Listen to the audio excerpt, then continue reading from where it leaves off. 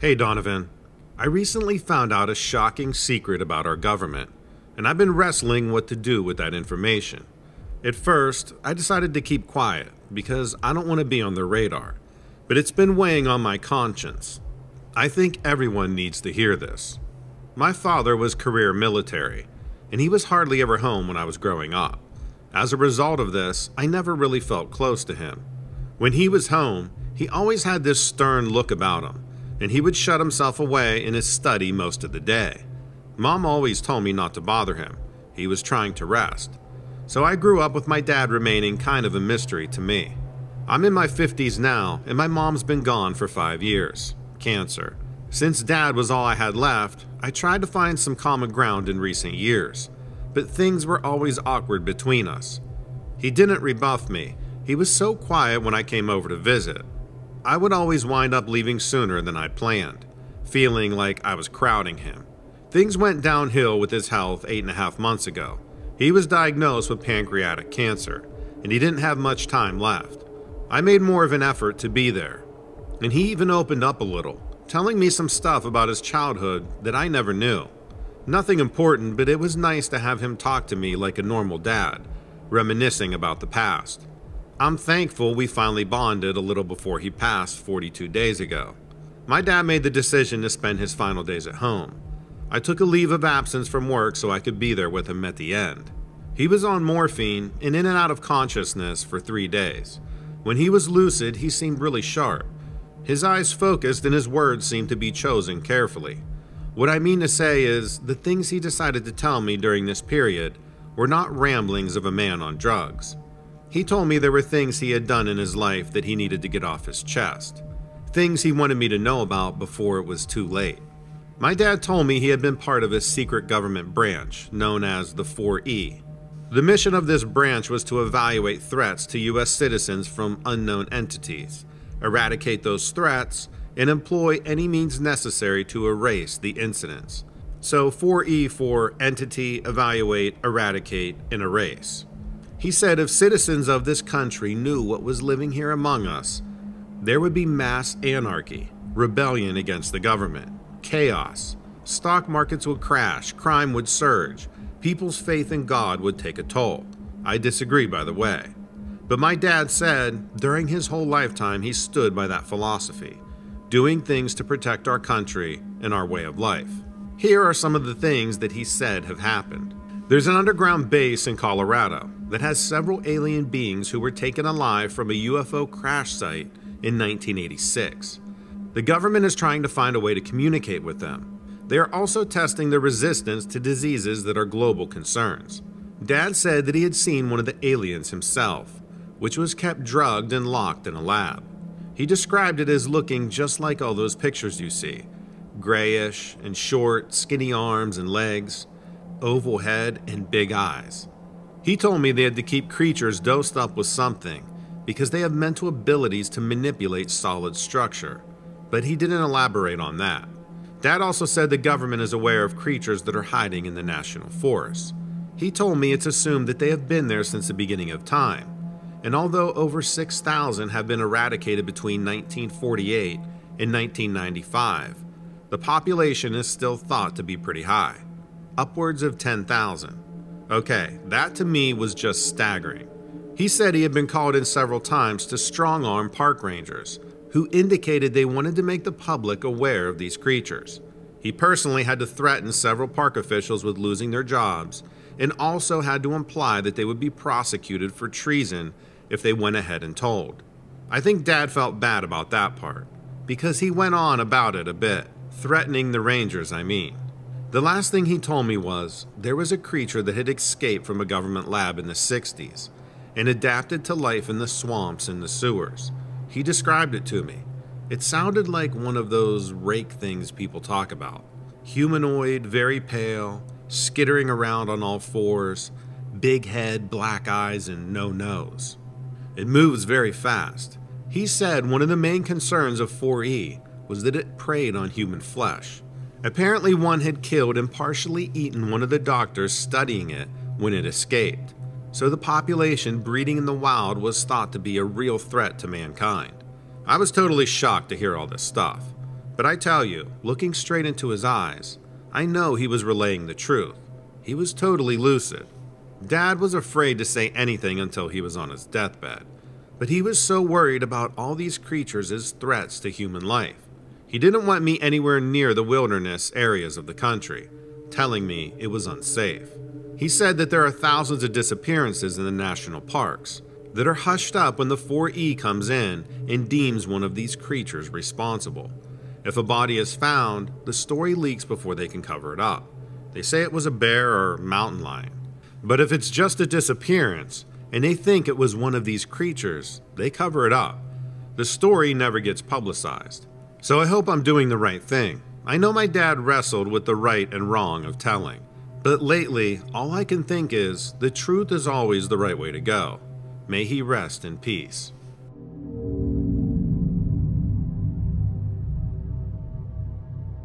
I live in a very suburban neighborhood in northern Michigan. It's just like any other neighborhood, really. We had just chosen the house because it's on a cul de sac and it was safe for the kids to play outside. The rear of the house backs up to a natural open space area, which was another plus for us, so we could take the kids out on nature walks. What we didn't know when we moved in was that our neighbor to the west of us seemed a little deranged. He was very paranoid all of the time. He had an abnormal number of motion sensor lights on his house, and his window blinds always seemed to be closed. He even had his strand of barbed wire along the top of his backyard fence. The first time I met him, he was outside putting salt around his house. He was lugging around a 10 pound bag of coarse salt. We had barely introduced ourselves, and he was trying to give me some salt too. He said you never knew when the horned beast would come back. I thought then that maybe he was some kind of religious fanatic and was talking about the devil. But he said that he had noticed its footprints in his backyard last time it snowed, and that was when he had put up the barbed wire. So it sounded like he was talking about a physical beast. I tried to ask him some questions, but he said it wasn't good to talk about it too much. I don't like to judge, but I figured he had lost a few marbles. I know that some of my own relatives have gotten a little weird when they got cooped up alone for too long.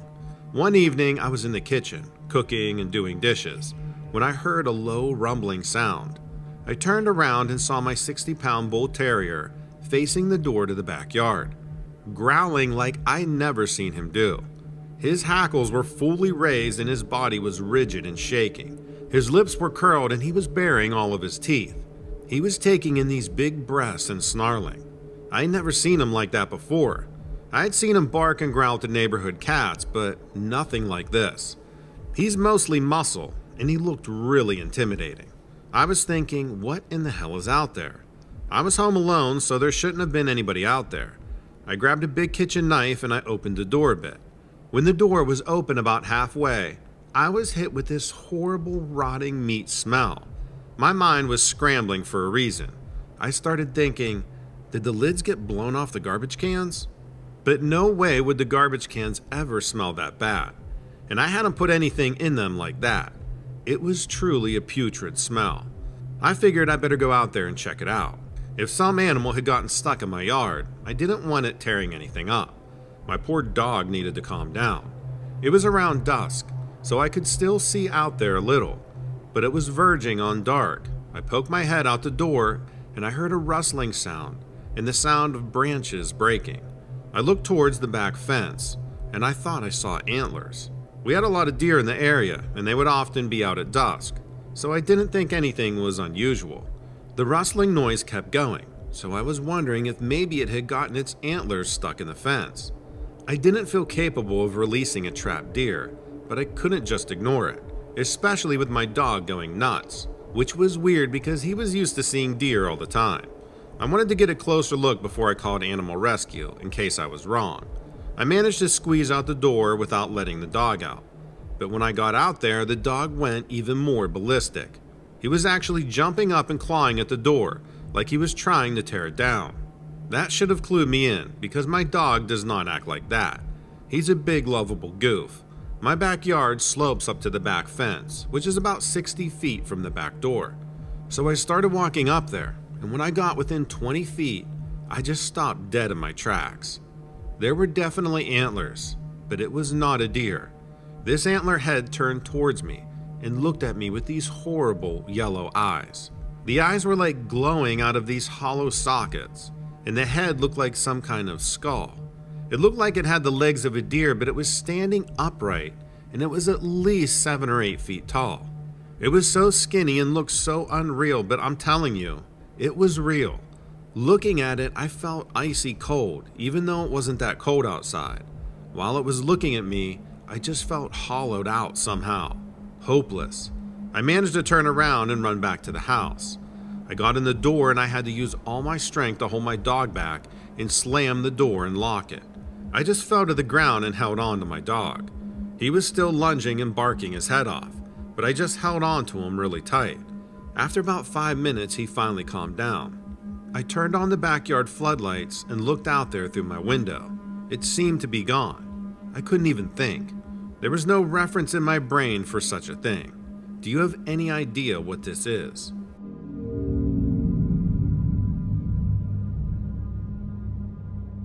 Hey there, Donovan. I know your inbox must be flooded with stories, but this one might just be a bit different than the rest. That's because I've been tracking these ships now for some time, and I'm positive that I've been studying an alien species. This may sound insane, and my family definitely thinks so, but I have a great deal of evidence compiled that could sway even the most ardent non believer. I'm based in New Mexico, near the border to Mexico.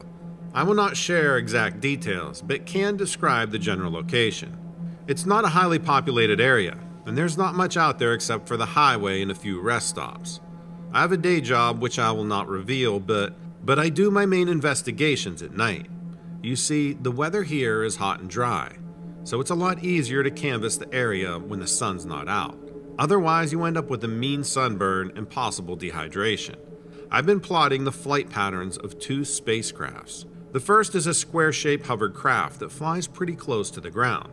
It ducks in and out and can do flips and turns. You may have thought at first that it was a drone, but there are no governmental nor recreation drones that have the capability to vanish into thin air. That's just what it does. It will fly around the desert and near my home base, and eventually pick up speed. It'll flash a bright neon blue light and then disappear. It always starts off in the same area and I've followed it for up to a mile. At 3 a.m., it always vanishes, although sometimes it will blink away earlier than that. If I'm not able to keep up on my car or on foot, I can sometimes lose it, but usually it moves at quite a slow pace. The second spacecraft is much larger and more difficult to consistently track. It's more of a traditional UFO. I try not to use that phrase as it's been so misconstrued by the media and the government but it looks more like the general public's idea of an alien ship. And you know what? There's clearly a reason so many people have seen these ships out here in New Mexico, Texas, and Nevada. It's because this flight path is strategically placed to connect to the gravitational pull with the equator. I can get into this theory more in private. The ship travels from the east to the west, and I've calculated it to be moving at around 15 miles per hour. Sometimes it will pause for a moment as a car passes by, or an animal walks through the area, but it typically continues at a steady pace. The ship flies at an altitude far lower than a plane and creates this ripple effect behind it. There's no chemtrail or anything like that. There's only a ripple of heat or gravitational disturbance that follows in its wake. The first time I spotted it, I happened to be outside letting my pup use the facilities around 2 a.m. I looked overhead and I saw it. There is this ring of LED light illuminating the edges of this circular craft, but it is otherwise invisible. For the next few weeks, I would set my alarm clock to go off at 1:50 a.m. and then head outside. I can only speculate on whether these ships are friends or foes, but they are certainly interesting to study. The government bases nearby would surely be able to notice these ships on their radar, so I am unsure why there have been no stories yet released about their presence. The first time I spotted the first ship, I created a post on Twitter and on Reddit. In less than a day, however, my accounts were banned. I will not be sharing any photos publicly. However, I do have a few photos that I could share with you.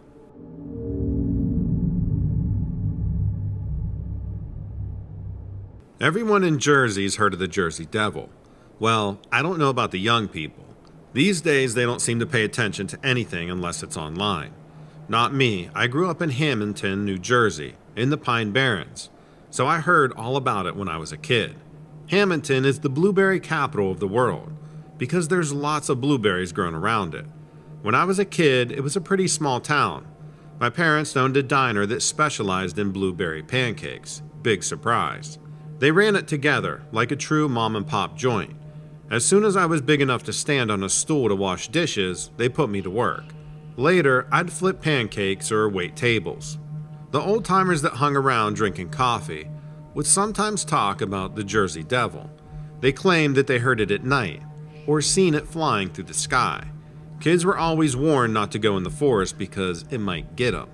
Of course, we didn't listen. I had spent a good bit of time riding bikes on the dirt out there with other like minded youngsters. We stayed out until dusk sometimes, but never saw any evidence of that thing. Once, an old man came into the diner with a grainy black and white photo. Everyone passed it around and took a look, but really, it just looked like a bird in the night sky. There was a moon, but not enough to light it up much. I didn't hear anything about the Jersey Devil for a long time after that. I kept working at the diner until I went into the Army for a couple of years. I came back and mom and dad decided to retire. They took off for Florida and left me with the diner. I got married and my wife and I ran it together. My wife doesn't like to stay up late, so I usually close by myself. We don't get a lot of business at that time, so a lot of nights it's just me. There are a few regulars who come in at night, folks who work the late shift or just restless types. Then there's tourists or truckers on their way through town. I started to hear about sightings. Most people just heard a weird screeching, loud, late at night. A few saw something too, flying in the sky mostly. I didn't take it too seriously, but I thought it was interesting since I hadn't heard about it for such a long time. Maybe I thought it had been around when those old timers saw it, and it left for somewhere and then came back again. Maybe it went on to the other side of the Pine Barrens. This went on for maybe about a year, where every month or so someone would come in with a story. One day I closed the diner as usual. I went outside and I heard a screech. It was so loud, sounded like an airplane, if an airplane was a hawk or some kind of angry bird. I looked around, but I didn't see anything except the quiet, empty street. Things pretty much shut down in Hammonton by 8 o'clock. We stay open till 11, but not much else does except for the bar down the street. I thought about asking the bartender if he heard anything. Jack, who's usually the only one there at night, is pretty hard of hearing. I thought it was worth a try though, or maybe I just wanted a drink. So I walked over and ordered one. Since it was a Tuesday night, no one was there except for a couple swaying together on the small dance floor near the jukebox. I doubted they heard anything over the crooning of Frank Sinatra. I asked Jack if he heard a screech. A what, he says? So I asked him if he's heard anything about the Jersey Devil lately. A few stories, he says. Don't put no stock in them. I asked him for an example, he says, You know, people see stuff in the sky, weird screaming noises. Going back to my car, I wasn't sure what to think. On one hand, Jack didn't believe there was anything to worry about, but on the other, he was hearing the same stories as me, so that wasn't good. Two nights later, I was inside the diner mopping when I heard it. This time, I went out to the back door. It sounded like a screaming freight train barreling down the street. I can't believe that other people didn't hear that thing. Maybe they explained it away somehow. Maybe they thought it was a train. I don't know. But I looked up into the sky and I saw something that looked like a flying dragon from a movie. Its wingspan was bigger than any bird or hawk that I'd ever seen. The sound started up again, and I thought I should go back inside, but I wanted to see what would happen. It headed towards the woods and finally swooped down out of sight behind some of those tall pines. I heard it one final time and then I did go back inside. The next day, I asked a few people if they heard it, including my wife. They all looked kind of nervous. I think they knew what it was, but nobody wanted to admit it. I heard it a few more times since then, and I tried to get a picture, but I haven't been able to yet.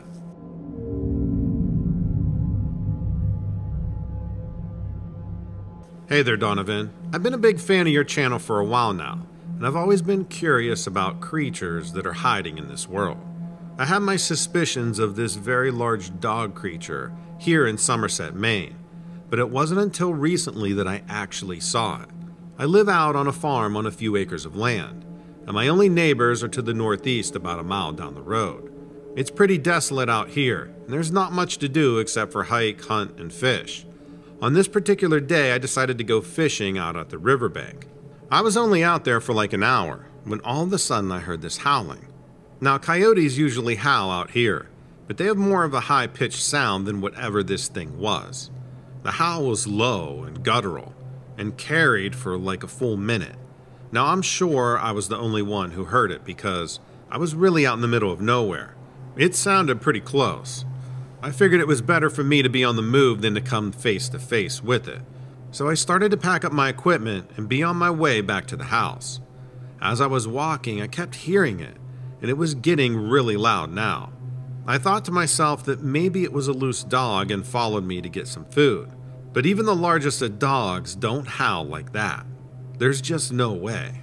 I started picking up the pace, and when I got into the house, I slammed the door behind me. My walls are pretty thin, but I didn't really hear any more howling after that, so I figured I'd just clean my fish and start on dinner. I was laughing to myself and frying some oil as the sun started to set.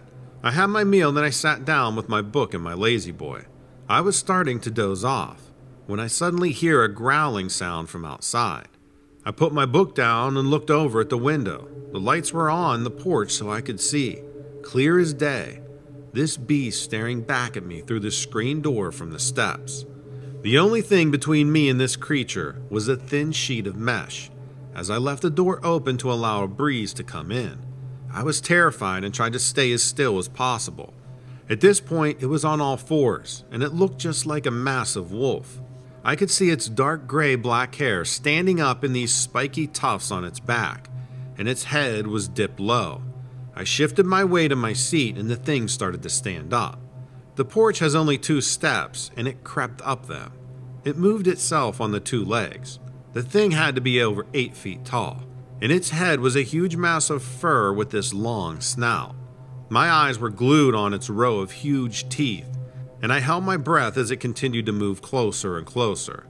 It looked into both of my two porch windows, first the left and then the right before centering itself back at the front door. It just sat there like a Doberman waiting for supper, and it sniffed a deep breath right at the mesh door. As it pulled its nose away, a drop of drool was left on the wire. I couldn't believe my eyes. If it wanted to, it certainly could have scratched and broken right through the door. Even if the door was closed, those powerful claws could have certainly done damage on the wood frame. I just sat there though. Damn, I do think I was lucky because who knows what would have happened if I tried to run or fight it. I think my freeze instinct certainly kicked in, and I just waited it out. Eventually, a white-tailed deer started across the lawn. I could see about 20 feet away, and I definitely spotted it before the wolf thing. But as it walked by, the wolf lifted its head and snout into the air and took a whiff of the air. In an instant, it raised up onto its hind legs and jumped into the air. I heard a squeal from the deer, and the sound of gnashing and gnawing. I quickly grabbed a poker from the fireplace and armed myself. When I looked back outside, however, the creature and the deer were gone, leaving just a puddle of blood on the lawn. I definitely couldn't sleep that night, and for the next few days, I stayed over at my brother's house. I'm really terrified to go back to my farm. That thing is definitely out there, and I worry that next time I won't be so lucky. I certainly would have ended up like that doe. I hope I never see that thing again. But if I ever go missing, I just want the world to know that it was this wolf creature out here.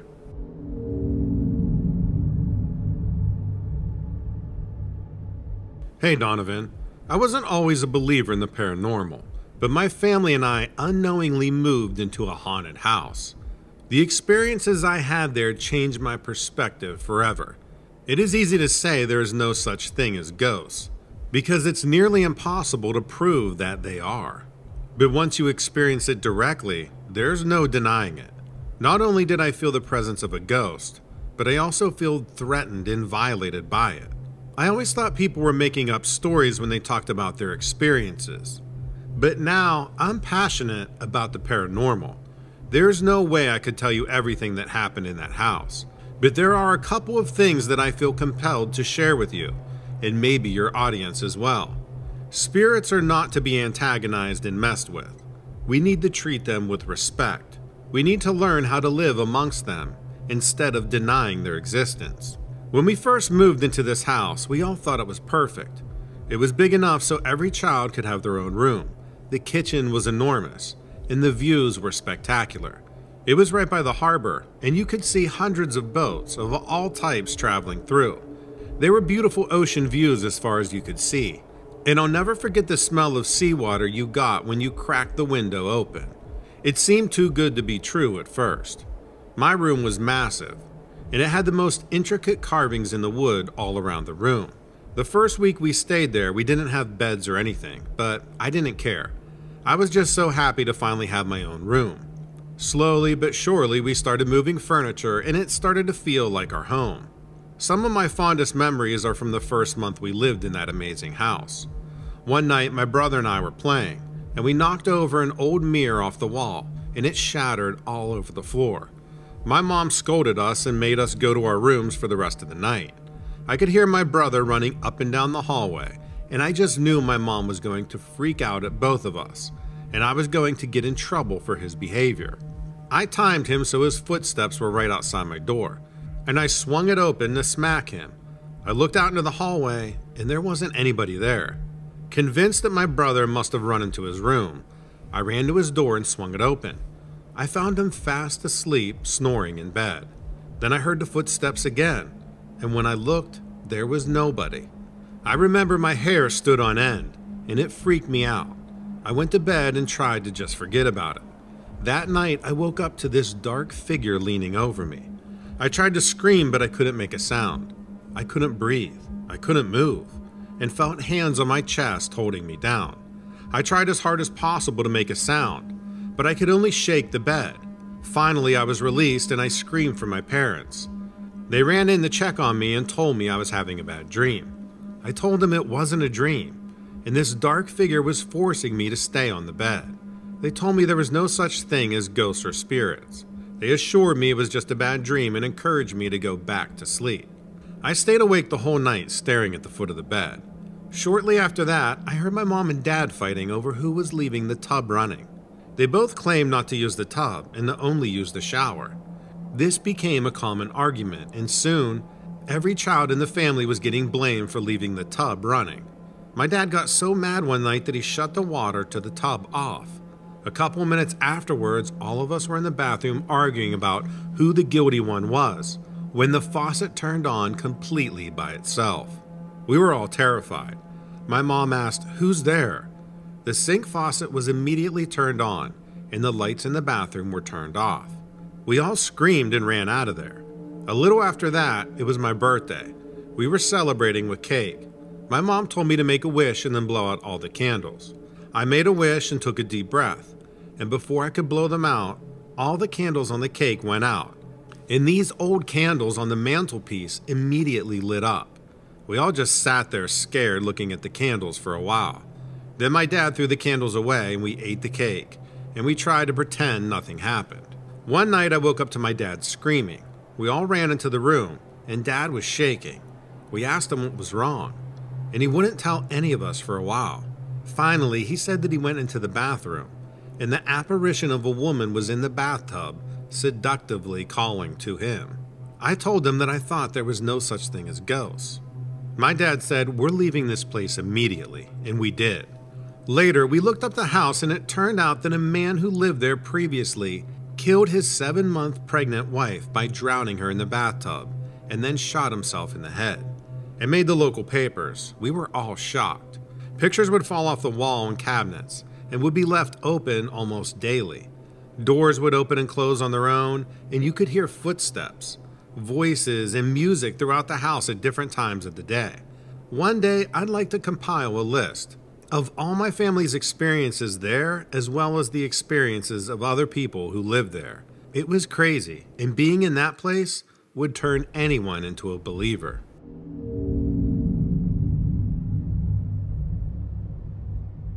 I work at the Taco Bell on West Country Road in Merrill, Wisconsin. And just like they say, we're open late. So I'm like low guy on the totem pole there. And I always get stuck closing up with this guy who's lazy as all get out. But you know, I gotta keep this job. So whatever. If he doesn't do it, I gotta do it. And I'm not gonna complain to my manager and be known as a rat. No one likes a rat. I really wanted to get home that night, because some days I've just had it, you know. And here it is after 3 in the morning, and I'm still mopping up the floor while the other guy keeps going into the bathroom to avoid doing any work.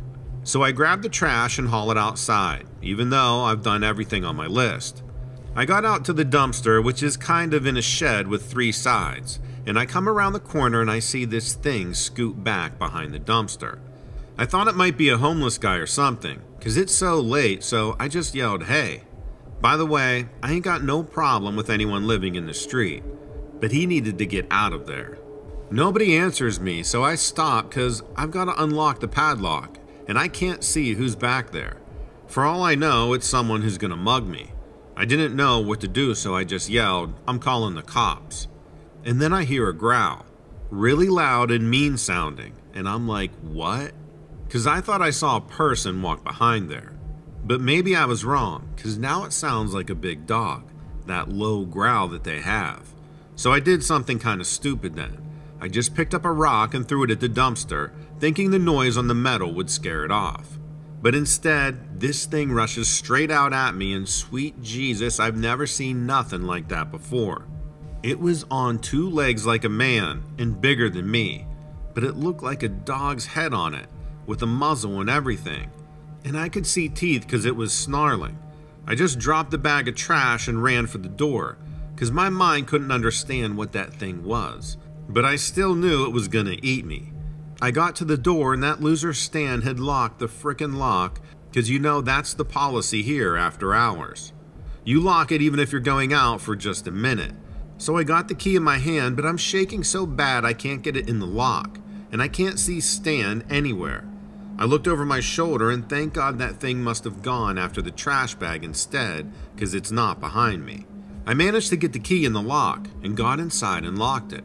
I'm breathing so hard I thought I'd had a heart attack. I told Stan there was this weird creature like a werewolf out there, and he laughed at me. Of course. I guess I would have laughed if he told me that, but I can tell you right now, this thing was real. It was covered in dog fur or wolf fur, and it had a big head like a dog and stand up ears. I didn't get a good look at its paws, but its eyes were yellow and it had these big teeth. It was definitely walking on two legs because it came at me that way. I don't know about a tail. We left like 15 minutes later, but I wasn't parked near the dumpster, so I just hurried over to my car and got in and locked the doors. I cruised by on the road to the other side where you can see the dumpster, but the thing was gone, or hiding behind it, maybe. I even told my manager about it, because I don't want to work the closing shift anymore, and he thought I was making this up. So the only thing that I can think to do is maybe go over there some night when I'm not working and sit in my car facing that dumpster with my camera ready. I figured I need a picture for anyone to take me serious. And who knows, I might even be able to sell a picture like that to a magazine or something. So stay tuned because you'll be the first to know, Donovan, when I get a picture of that thing. Thanks for all your help getting these stories out there, man. I think you're a real stand up guy.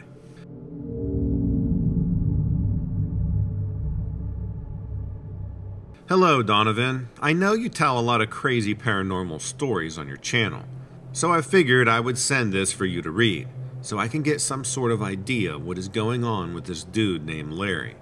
I worked at a coffee shop for a while, and it was a pretty chill job. You got to meet all kinds of people, and most of them were excited to get their coffee. It was a 9 to 5 type of job, and I had all sorts of jobs with crazy hours, so the normalcy was refreshing. Every single day for the past year, our first customer was this man named Larry. He was always in a rush and always got black coffee. Occasionally, I could get some pleasantries out of him, but most of the time, he just stared bloody daggers at me until I got him his coffee.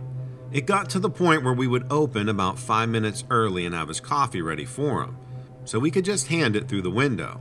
He would often grab the coffee, pay, and leave without saying a word. He was a very strange individual, but he always made me laugh. He wasn't the biggest fan of human interaction, but he sure did love his coffee. He always had a very serious and wide eyed expression on his face, and I never saw him smile. Then one day, he just stopped showing up. I would still open the shop about five minutes early out of habit, but he stopped coming altogether.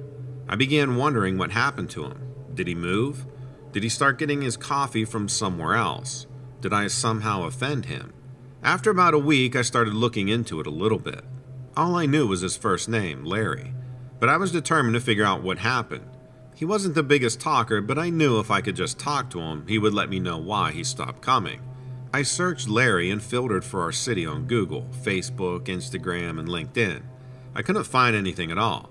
I eventually just figured he had moved and tried not to think about it. About a month went by and I saw Larry's black car coming through the drive through again. It was much later in the day than I usually saw him, and he had this smile on his face, something I never thought I'd see. I was excited to see him even though we'd barely spoken before. I asked him if he wanted his usual, and he asked what his usual was. I kinda laughed because the man ordered the same thing at the same time for an entire year. I told him that he always got a large dark roast coffee, and he said he'd like a green tea. I sort of joked with him that he was switching it up a little bit, and he laughed and laughed. His laugh seriously disturbed me. My joke wasn't that funny, and he had tears streaming down his face and a deep bellowing laughter. He kept laughing harder and harder, and he stared directly into my eyes the whole time. I nervously laughed along, but something wasn't right. This wasn't the Larry that I knew at this point. His laughter and his face had me fearing for my safety. I politely waved him on and closed the window, but he stayed by the window leaning towards me. He was laughing so hard that he was spitting all over the window. His eyes looked different. I couldn't see the white in his eyes at all anymore, and I wondered if he was having a stroke or something. I picked up the phone to call the police when he just sped off. It was seriously disturbing. My coworkers all asked what the hell was wrong with Larry, but when I told them what had happened, they just kind of laughed it off, but I was freaked out. I finished my shift and headed to the grocery store to get something to cook for dinner. When I got out of the store, out of the corner of my eye, I saw a black car. I really didn't want to believe it was Larry's car, so I just got my car and headed home. Sure enough, the black car pulled up right behind me and started following me. I looked in the rearview mirror and it was Larry with his black eyes and a huge creepy smile. I was seriously freaked out, and I just sort of pretended not to see him and kept driving down the road. Every turn I took, he closely followed. I eventually started driving randomly and erratically to see if he kept following me. Without hesitation, he closely followed every turn I made. I eventually called the police and told them that a regular customer of mine was now stalking me. He seemed incredibly dangerous. They asked me what my car looked like and told me to drive straight to the police station. I did as they asked, and as soon as I pulled into the station, Larry took off down the road. I thanked the officers, and they told me I couldn't get a restraining order against him unless I had some undeniable evidence that he was stalking me. I felt helpless, but I figured the worst was over and I headed home. Waiting in the parking lot of my apartment building was Larry in his black car, with a terrifying smile on his face. His mouth was huge and his eyes were pitch black. I drove by and I went to sleep at my parents' house that night. The next morning at work, I was freaked out that he might be there to get his coffee or green tea, but I didn't see him. I was incredibly relieved, and I went on as if nothing had happened. When I got to my apartment, there were hundreds of completely full cups of coffee from the shop that surrounded my bed. It was as if he saved every single cup he had brought for me and not had a single sip from any of them. I had my parents help me move out of there immediately, and I quit my job at the coffee shop. The only thing that I can figure is that Larry is possessed. His facial expression, his behavior, and his eyes all look like that. I do admit, though, that this is not my area of expertise. Do you have any idea what I'm dealing with here? I haven't had any experiences with him since, but I'm living in constant fear that I might see him again.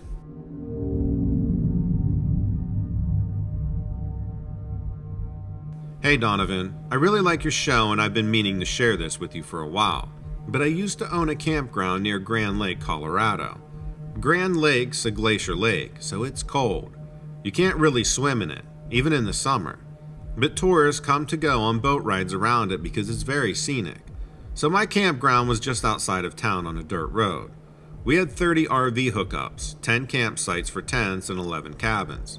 Also, showers, laundry room, and an office. I lived in a little apartment above the laundry, and it was great, really. I hired a few people to help out, like townies and a few transient types who headed down south for the ski resorts for winter to work. But then, one day, this guy comes into the office with a photo on his phone. He was staying at the farthest RV spot from the office. I can't remember, but he had some kind of camper trailer, maybe even a pop up. He was staying in with his girlfriend. He looked to be in his 60s. I figured he was retired, but I didn't think about it too much. Lots of people come and go and mostly don't stay for more than a week. This guy had been there a couple days, I think. I've been working on payroll for the week, worrying as usual about whether I had too many people on staff and how I was going to make it through the winter. From November to April, I catch a few odd jobs in town, like driving one of the country snowplows, but it's never easy. When this guy walked in, I felt a cold breeze. Maybe not a breeze, more like a little freeze in my gut. It made no sense because when he checked in, the guy was friendly enough, talking about the weather, hiking, and photography. That was his hobby. I figured he just wanted to complain that the washer ate his quarters, something like that. So I smiled and said hi, and he said, I got something to show you. He had a laptop computer under his arm, and he put it on the counter and opened it up, and this photo filled the screen. It was dark. I had no idea what I was looking at. You see those red eyes? he said. I looked closer and maybe saw two red dots off to the side of the blurry trees. I guess they were. Maybe, I said.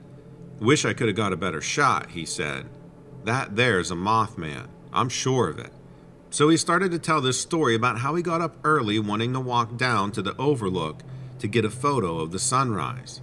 He heard something like huge wings flapping and turned around. Through the trees, he saw this man shaped thing. Only it had huge wings and no face. Like where the face should have been, there was nothing except for these large red eyes. He grabbed the camera from around his neck and got off a shot at it, just before it flew into the sky. He wanted to try for another picture, but the sky was so dark that he knew he wouldn't get anything. Wish I'd thought I'd take a video, he said. The sound of those wings would have picked up on the mic for sure. I didn't really believe him. I never even heard of the Mothman before. I figured he'd just seen a hawk or something. Lots of them out there. The next day, he and his girlfriend took off, and I pretty much forgot about it. A couple weeks later, though, things got weird. People would come and set up and leave the next day. They never said why, they just break their reservations and go. We were losing so much money that I was sure I'd never have enough for winter. The employees started quitting. Finally, after a couple weeks of this, I cornered Jimmy, who runs the laundry and the shower rooms. He cleans, collects the quarters, and fills the machines, all that stuff. They're scared of the Mothman, he said. Oh, come on, I said, Larry, that's crazy. He showed me a picture on his phone, but it just looked like grainy blackness. The photo, he said, was from Bob, who used to cut the grass at the campground. Bob quit the week before. I wasn't scared of this thing, but I was scared I'd never make any money off the place again. Then one couple came with a small tent, and I gave them the furthest campsite near the pond. On the day they were supposed to leave, Jimmy found all their things still there, but they were gone. We waited a day and they still hadn't returned. We called the county sheriff and he took all their stuff for evidence. No sign of them. Before we let anyone else have that site, I went out and looked at it. The sheriff guys had tromped all over it.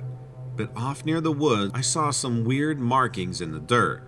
They were kind of line like tracks, but claw like, sort of. I looked up what moth's feet looked like, and they could have been big moth feet. I don't know, I wasn't really sure. Anyway, I was tired of not knowing what was going on, so one day I got up really early and went to the edge of the campground where it meets the woods and just stood there looking for a while. You know how your eyes take a while to get used to the dark, and when they do, you slowly start to see more. That happened, and then I saw something standing there at the edge of the woods. It was pretty far away, but I saw the red eyes. There was this huge loud flapping sound, and then this thing was gone. That's when I decided to sell the campground and move to Florida.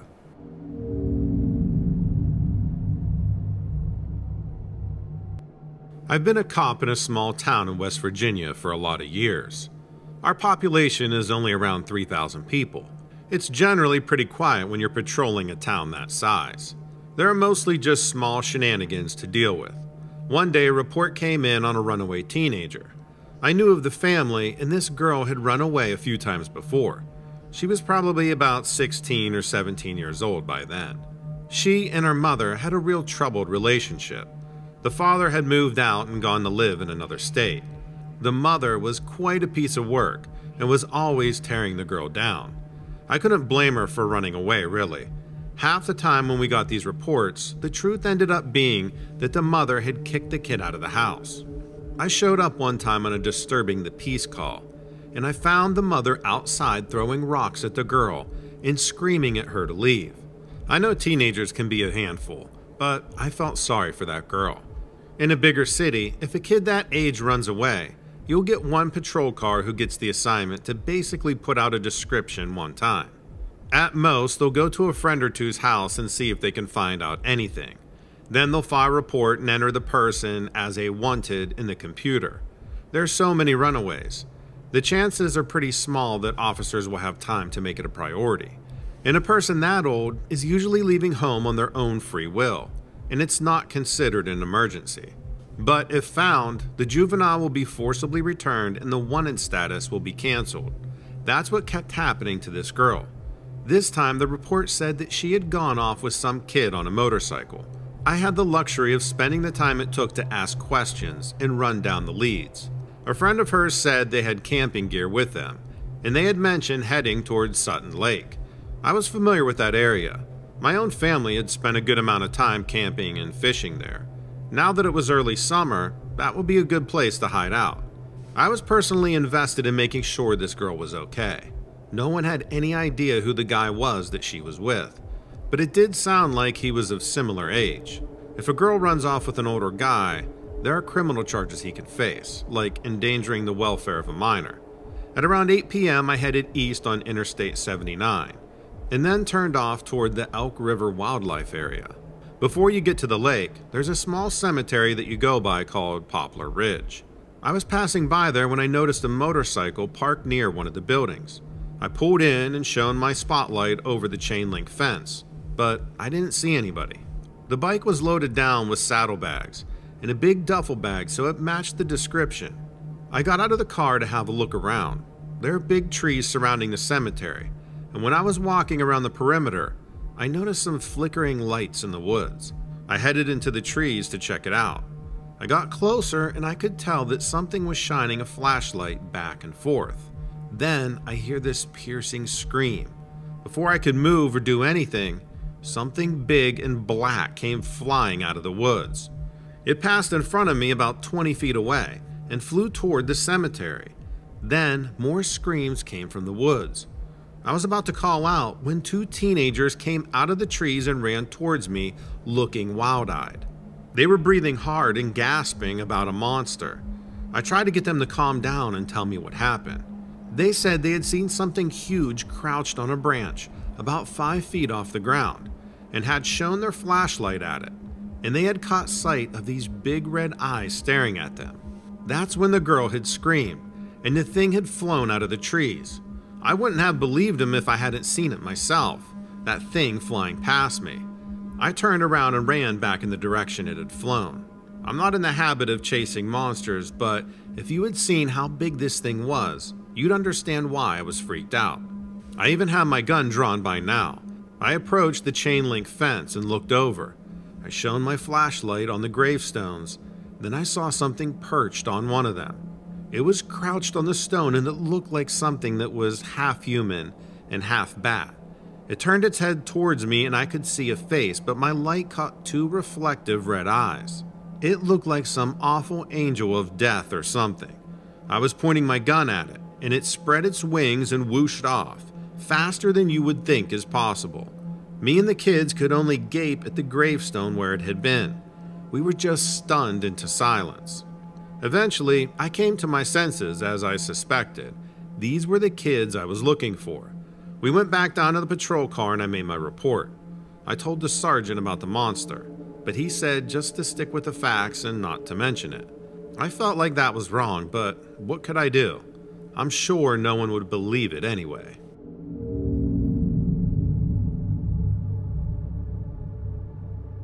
Hi, Donovan. I wanted to start off by saying thanks for putting this together. It's nice to have a community where I won't feel crazy about bringing this stuff up. I've never really gotten into stories about strange happenings, but a few years back, when I was out in the Humboldt County area, something happened that made me a believer. I'm sure you and a lot of your listeners are aware that this is a pretty remote area of California. It's also beautiful, and a ton of people go missing there every year. I live in Nevada, but my cousin, who I've always been close with, lives in California. In 2012, I was headed to college, so we decided to do a bit of a road trip through Northern California before I had to live in a dorm.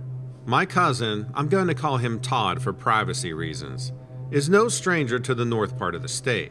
He's a bit of a daredevil and is always trying crazy, risky sports and hobbies. I told him I wanted to keep this trip tame, which he was up for. We were going to do a drive up the famous 101, then hook over to 299. It cuts east through the state, and there's a nice mountainy area I was excited about. At the time, my cousin was driving a really old Nissan. It actually had a hole that was starting to wear through the passenger side floor, and I had to keep my feet a certain way, so I didn't accidentally put my foot through the floor. This was in late summer and the weather was great. Further north, it cools down a bit, so we had the windows down, and my cousin had an epic playlist on. The first few nights we stayed in motels and bumped around towns like Eureka. We met up with two of Todd's friends around there, and they joined us for the drive. At some point, the group of us started telling stories about odd things that had happened to us here and there. I didn't have much to contribute. Like I said, I've had a pretty tame life growing up. No weird experiences. But one of the girls who was with us, Catherine, seemed really into this stuff. She had a few different encounters, as she called them. At first, me, Todd, and the other friend kind of laughed and made fun of Catherine a bit. But after about an hour of chatting on this topic, it was obvious she was getting upset about us not believing her. The mood in the car had also changed, maybe just because it was coming on nighttime. We were on 299, but not too far along it. This was a stretch where it was really woodsy, and Todd spotted a pretty deep pull off to the right, so we decided to camp out there. I go camping a few times a year and I love it, but that night, I was definitely on edge. I thought it was just Catherine's creepy stories. They had gotten weirder and weirder as she told them. I just tried to shrug it off. My cousin and I had shared one tent, and the two friends had actually brought hammocks, so they started up a fire to heat up some wood while we set up the tent. The night was pretty quiet and uneventful. This is where it gets a little weird. Even writing in, I feel really self conscious about this part, but I think finally telling someone about it will help me get over it. Late the next morning, the other girl, I can't remember her name, mentioned that there was a waterfall nearby down this little dirt road. It was a popular hiking area, and we decided to stop. There were a few other cars parked there, so nothing felt out of the ordinary. I switched out my sneakers for boots. Everyone grabbed their bags and water, and we started into the woods. It was a beautiful day, but surprisingly dark under the trees. At first, the hike was flat, but soon it started going uphill. It made sense since we were heading for the waterfall. There were a few tight switchbacks, and some of these opened up into a view. We could see mountains not too far from us, and pockets where the woods dipped down. The fog was rising up out of those dips, which was one of my favorite parts of being in the mountains. About a half hour into the hike, we stepped out onto a switchback that was pretty bare. All four of us slowed down to take in the view. There was another slightly taller and rugged looking mountain directly across from us. It had some bald spots, rocky faces sticking out through the trees, and it was on one of those rock faces that we saw the figure. At first, Todd thought it was a bear and quietly pointed it out. But soon it was obvious from the way it was moving that this wasn't a bear. It was definitely a person. The girls backed off the trail a bit, and I could tell that they were both uncomfortable. I joined them quickly because the figure across the way from us turned, and it was definitely a person. A guy wearing a dark cloak. I don't know how else to explain it, almost like a robe. I couldn't get a good look at his face. It was immediately a weird thing to see in the middle of the woods. and the fact that he looked like he was just waiting for something really freaked me out. Todd was standing near the edge of the switchback, basically holding his breath. I had this horrible feeling that something bad was going to happen if the guy turned and saw us. Luckily, right then, a family with a few young kids came trudging down the trail towards us.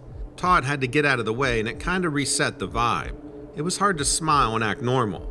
I almost wanted to point out that guy to them, but I glanced back that way, and he was gone.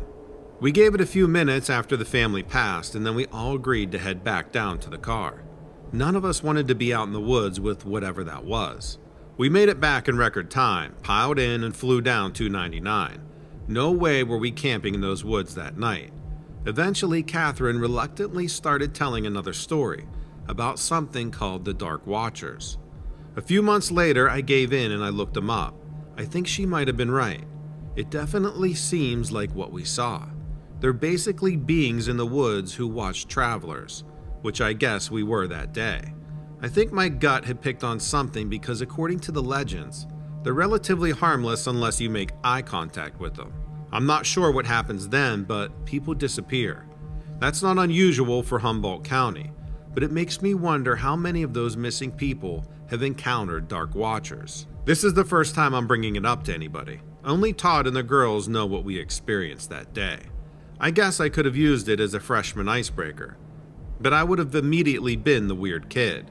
As freaky as it was, it's good to know that that stuff is out there. I'm a lot more careful now and aware. Thanks again for listening and getting info like this out there.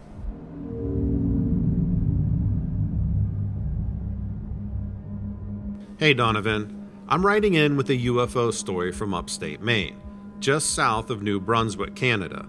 My home is almost on the border, so I'm about as far north as you can get. I spent a few years at a high school working on an oil rig and once I had money saved up, I built a small cabin up here on almost 20 acres of land. It's the perfect, peaceful place I've always wanted, but definitely comes with some strange events. Most of these events can be attributed to day to day things, like neighbors who don't understand the boundary lines. It's not usually an issue as I own a few firearms and can be pretty intimidating when I want to. Having two cane Corsos helps too. I have a few chickens, and the dogs keep the coyotes and foxes off the property. This past spring, I had a UFO experience that I thought you might find interesting. I say UFO because that's the only option I've been able to come up with for what I've witnessed. I'll just get straight to it. I always take my dogs out before going to bed, and in early April, I brought them out back to do their thing. They're two big neutered males, so I have a 6 foot industrial fence that encloses about 700 feet of yard, so I don't have to worry about them getting out. I like to go out and stand on the porch with them just to keep an eye on things. And that's what I was doing at this time. It was pretty late and already dark, but I have floodlights out back, so the whole area was lit up to the tree line. My girlfriend was on her way over, and I was keeping an ear out. I live on a dirt road and it's easy to hear cars coming up my way. I was just enjoying the night and watching the dogs romp around when I saw something out of place over the trees. Like I said, this is pretty far north, so seeing lights isn't uncommon. A few times a year, you can actually see the northern lights from Maine, and it's pretty cool. But even as I was squinting to try to make out what I was looking at, I realized it wasn't really the season to see the aurora borealis. The dogs were completely ignorant of what was going on overhead and just sniffing around in the grass. I stared up at what looked like a foggy area spreading low on the horizon, just behind the treetops. It was hard to tell how large or small it was because I couldn't really place how far away it was. At first, it did look a little like the northern lights, but whenever I've seen them, they've been a bright blue or green. This was kind of a soupy gray color. I kept staring for a minute, trying to remember if there was an airport or something out that way. Definitely nothing like city lights that would flood the night sky. I was about to write it off just as a weird night and call the dogs in when five lights in a perfect row suddenly blinked into existence. They were lined up perfectly horizontally. That seemed odd. I have heard of satellites or launch known objects showing up in the sky with this kind of lighting, but usually the local chatter gives me a heads up about this stuff. I pulled out my phone and I called my girlfriend. She answered and quickly said she was a few minutes away. Are you at a place that you can pull off? I asked. I could tell by the tone of her voice that she thought it was a strange question, but she agreed to pull off onto the side of the road and asked why. When she pulled over, I explained that I was seeing something weird in the sky, and I wanted to know if she could see it where she was. I heard her open her car door on the other end. A few seconds of silence, and then she confirmed that yeah, she could see it. We talked about what it might be for a moment when the light suddenly shifted. That is what made me absolutely sure it wasn't a satellite or some kind of mechanical object. It looked to be five completely separate components. The lights separated from one another in different directions that didn't look geometric or intentional. One on the far right shot off into the distance and disappeared. On the other end of the line, I heard a car door shut again, and my girlfriend shakily said she was coming over. We hung up and I watched as the other two lights kind of drifted away in relatively the same direction. The dogs had quieted by now, and they were on the porch, definitely confused about why I was still standing there. I blinked, and then all of a sudden, one light in particular had moved significantly closer. I couldn't quite tell what it was, but it was definitely bigger, and shrouded in that gray fog like like I'd seen first. It moved slowly over the trees, probably a few miles out, and at the same time, I heard my girlfriend pull the car into the driveway. She came around to the side of the house through the gate, quickly greeted the dogs, and got up next to me. I pointed out the largest light. The others were all gone now. That was almost acting as if they were scoping out the area. Is that near anything? she asked. But neither of us could identify why it would be there. We watched it move out for a few minutes until it started receding again. And then, like the others, it just sort of dissipated. Both of us had trouble sleeping that night. I didn't necessarily get a malevolent feeling from it, but just knowing that UFOs are really out there makes me a little uncomfortable. It feels better to have a roof over my head. I don't always go out with the dogs these days, and while I appreciate the peace and quiet out there, it really makes you think about just how alone we are.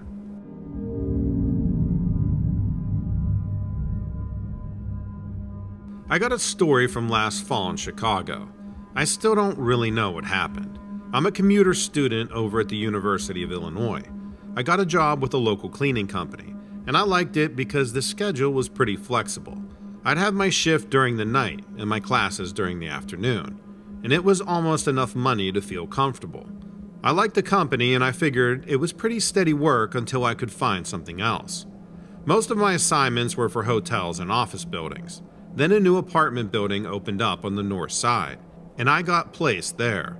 The first thing that happened, and this didn't make any sense, was that I needed both a security clearance and a physical before I could start the position. These were upscale condos, so the security thing I could understand. But the physical was really weird. I've worked for a couple other cleaning services, and they'd ask for some health questions, sure, but this time I had to get a doctor's exam, and on my own dime. It was irritating, but I figured the bump in pay would be worth it. No one was allowed to move into the condos yet, so they were still in the process of showing the place off to potential residents. Me and a few other custodians were just supposed to make sure that nothing got too dusty. It was an easy enough gig.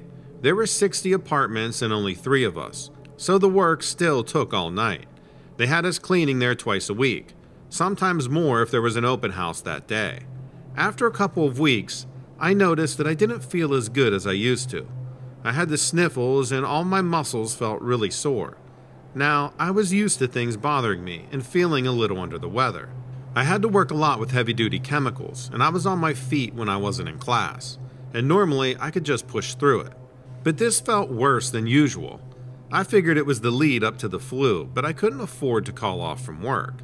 When I had my regular shift at the condos, I warned the other custodians to give me some space. Apparently, they had come down with something too. We all felt a little sick and didn't want to be there. But we were going to tough it out. Now, usually, I would take the middle floors. Regina would take the top, and Jackson would take the bottom of the building. We didn't actually see each other much once our shift started. But that night, I needed a refill of bleach, so I headed down a couple of floors to the lobby looking for Jackson. I found him passed out against his cart. He was breathing, but his lips were blue. I helped him sit up against the wall and I called Regina. I didn't know if he needed an ambulance yet or not. He was sweaty and clammy to the touch. Whatever had happened to him, it was bad. When Regina got to us, she gave him some of her coffee. He was still shaky, but we got him to talk a little bit. He said he had been getting dizzy, and it just hit him all at once. He had tried to go outside and get some air, but he didn't make it. As he told us all of that, I realized that I was getting dizzy too. When I had been upstairs just then, I was fine. Now, I was getting nauseous. I told Regina to take him outside for a bit, and then I tried to calm myself down and tried to figure out exactly what I was feeling. There was this ringing in my ears that hadn't been there before. I walked around to see if I could shake it off. I noticed that when I stood in a particular part of the lobby, it felt much worse, almost like a vibration was coming up from right beneath me. Now, in all the time that we had been working there, we never went below the lobby. There were offices down there that we didn't have to clean, but I decided to head downstairs this time. I felt worse the further I got underground. I made it two floors down and I had to catch my breath, and again, it was just offices down there. I kept going until I reached the hall leading to the boiler rooms. That's when it felt like my head was going to vibrate out of my skull. I couldn't even see straight. And now I could hear the vibration itself. It was pounding the walls. I made it to the boiler room door and couldn't go any further. When I got back to the lobby, Jackson looked better, but he still wasn't strong enough to work. I was about ready to throw up, and Regina said she didn't have much left in the tank either. We decided to call it a night and leave. We hoped we would feel better in the morning. We told our boss about what happened. I didn't want him to think that we were slacking off for no reason, or else we'd be in trouble. When we talked about how sick we got, he called the building's property manager. Normally, we would never interact with them because there's no need. But all of a sudden, we're in a meeting with this woman and have to describe everything we did that night. She actually arranged our doctor's appointments. We couldn't get reassigned. Our boss actually wanted us in the building three nights a week instead of one. He offered to triple our pay, so of course, we all took it. Going into that building again and again, it's hard to describe. On some nights, I felt as sick as soon as I walked inside and couldn't work at all. And then other nights, it felt totally normal. Regina and Jackson experienced the same. The property manager gave us a reporting form where we had to document all of our symptoms. I quit as soon as we hit the new year. My body couldn't take the stress, and honestly, I learned to be afraid of that building. Jackson left too, but as far as I know, Regina still works that cleaning shift. I think I'll ask her to call in and give you more details. She says she's been getting worse.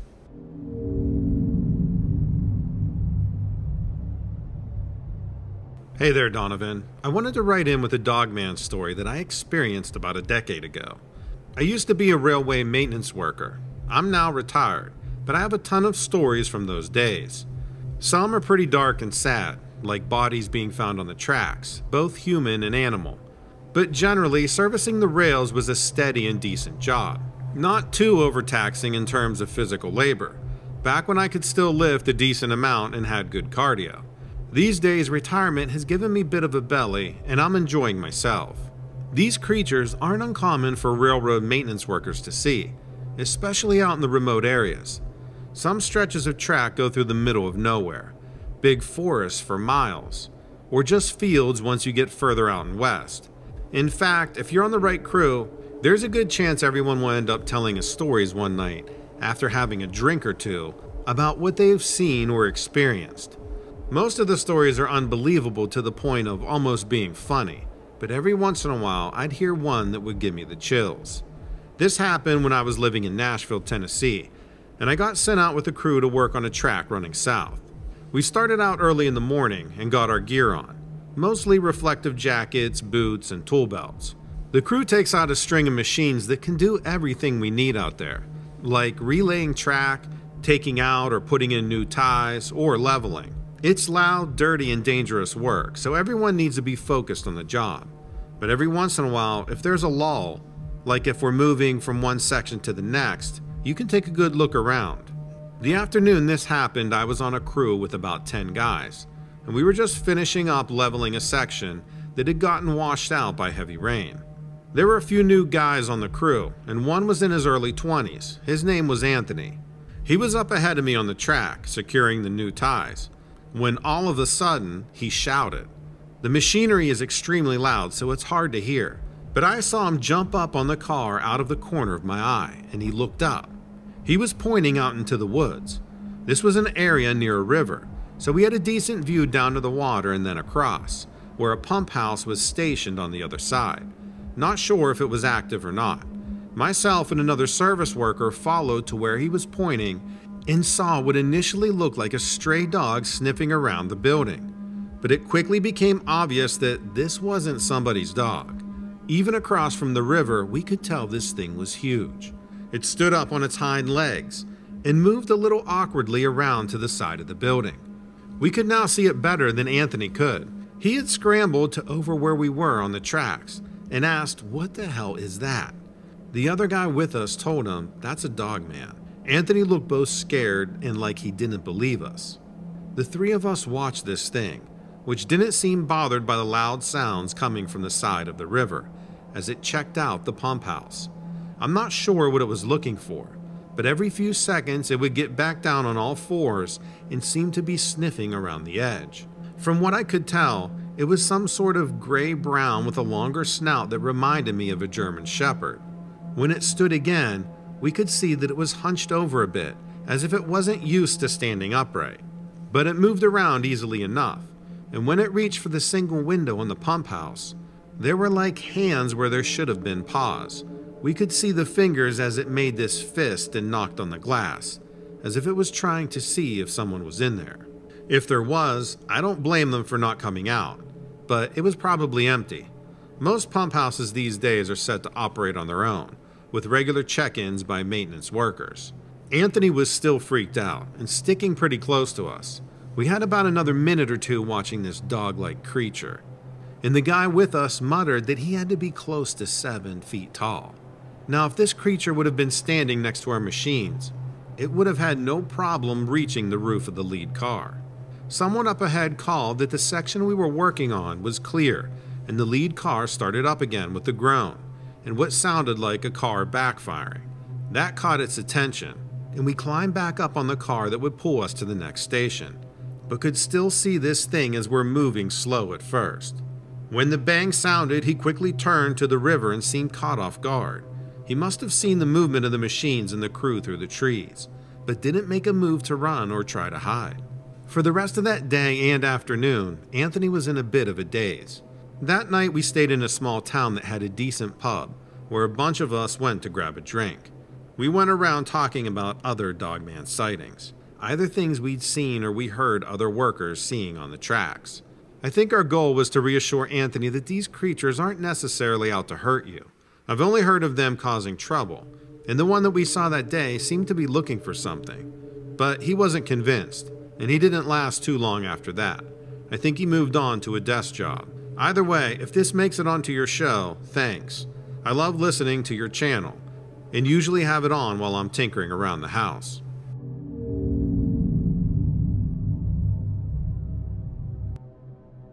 I run an animal sanctuary and dog rescue just outside of San Juan.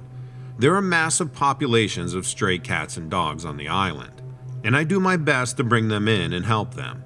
We have connections with vets and clinics, and we see a ton of issues, including mange and fleas, as well as malnourished and abandoned animals. We set them up with adopters on the island, although most adopters come from the mainland, and these animals travel via airplane to meet their rescuers. This started last fall and has been happening about three times every month since. I'd like to think it was just a coincidence, but it's getting too common for that. The first time it happened, I was shocked. But now it's been over 30 instances and it has only gotten worse. The local police have been no help. Every time I post images on Facebook, they get deleted. I don't know who else to turn to, so I'm hoping someone would have an idea. What it is, is that we've been getting calls about animals in the area acting strangely. They are usually kind of loopy and disoriented. They walk around and teeter as they walk. Usually, if they try to jump up or walk upstairs, they lose their balance and sometimes trip over themselves. This is both cats and dogs. It's happening all over the island, from downtown San Juan to the outskirts and more rural areas. Our team will bring the animals in, and after about a week, they start to act normally again. It's a slow process. It's like they're inebriated when they first come in, and it lasts maybe three days. And then one morning, they'll wake up and be very skittish. They'll start moving quicker and sometimes will snap at us, but they are mostly just nervous. Then, after a few days of being hyper nervous, there will be a full day of aggression. The dogs will be barking through the bars of the cages and foaming at the mouth. The cats will stick their paws out of the bars and swat at the crew passing by. We ended up with a ton of bite marks and scratches from the first few animals we brought in. This was before we noticed the pattern of how it plays out. Now, we've learned to quarantine each animal that comes in with this disorderly behavior and will not let them interact until after the final day of aggression. After that, the animal may just be the sweetest or the most typical stray. And then we start to post them on adoption websites. None of the adopters have complained about behavioral problems. In fact, they all seem to love their new dogs and cats. They even send me photos and videos of them snuggling with the whole family, even kids. They just act so odd for this first week, which is part of what we don't understand. One person who called in about one of the strays said they saw the animal being thrown from the back of a black van, without any distinguishing marks. Really, it's despicable what people do to vulnerable animals, but unfortunately, it's not unheard of. On the next call that came in, I asked the person if they'd seen a black van go by, and they said that in fact there was. One was speeding by just a bit earlier, and its speed had caught their attention. I was just shocked because I thought maybe the animals were just eating something bad, but now I believe they are being tested on or something else. The reason I'm writing to you and not a veterinary clinic or animal control is because I believe there is something strange going on. And there's probably some type of organization that is making these animals act this way. After we started getting so many of these calls and bringing in the strays that acted loopy, we began plotting down their locations on a map. Basically, the map shows a one mile radius around the business district. I don't want to disclose the particular area because I don't want anyone to get hurt, but I went and checked out the area myself. What I found was a bunch of warehouses and factories and shipping container lots that had been abandoned. So I was surprised when I saw a very new and very clean black van driving around. I hightailed it out of there because I didn't want to be seen looking around and get myself into trouble. But I called the local police to discuss it. They told me that they can't do anything about it unless I actually witness something happening and get concrete evidence or plate number, which is absurd because the van or vans that we've been seeing are unmarked. At least I've never seen a plate. I contacted a friend at Animal Control to see if they've been noticing this behavior, and they said that they have. Another shelter also noticed a similar trend. There are a few Facebook groups that I'm in, and the shelters that are further from the capital say they have not been experiencing this so I know something odd is going on, and I hope that somebody out there might be able to shed some light on it. Please let me know if my story corresponds to anything you've heard in the past.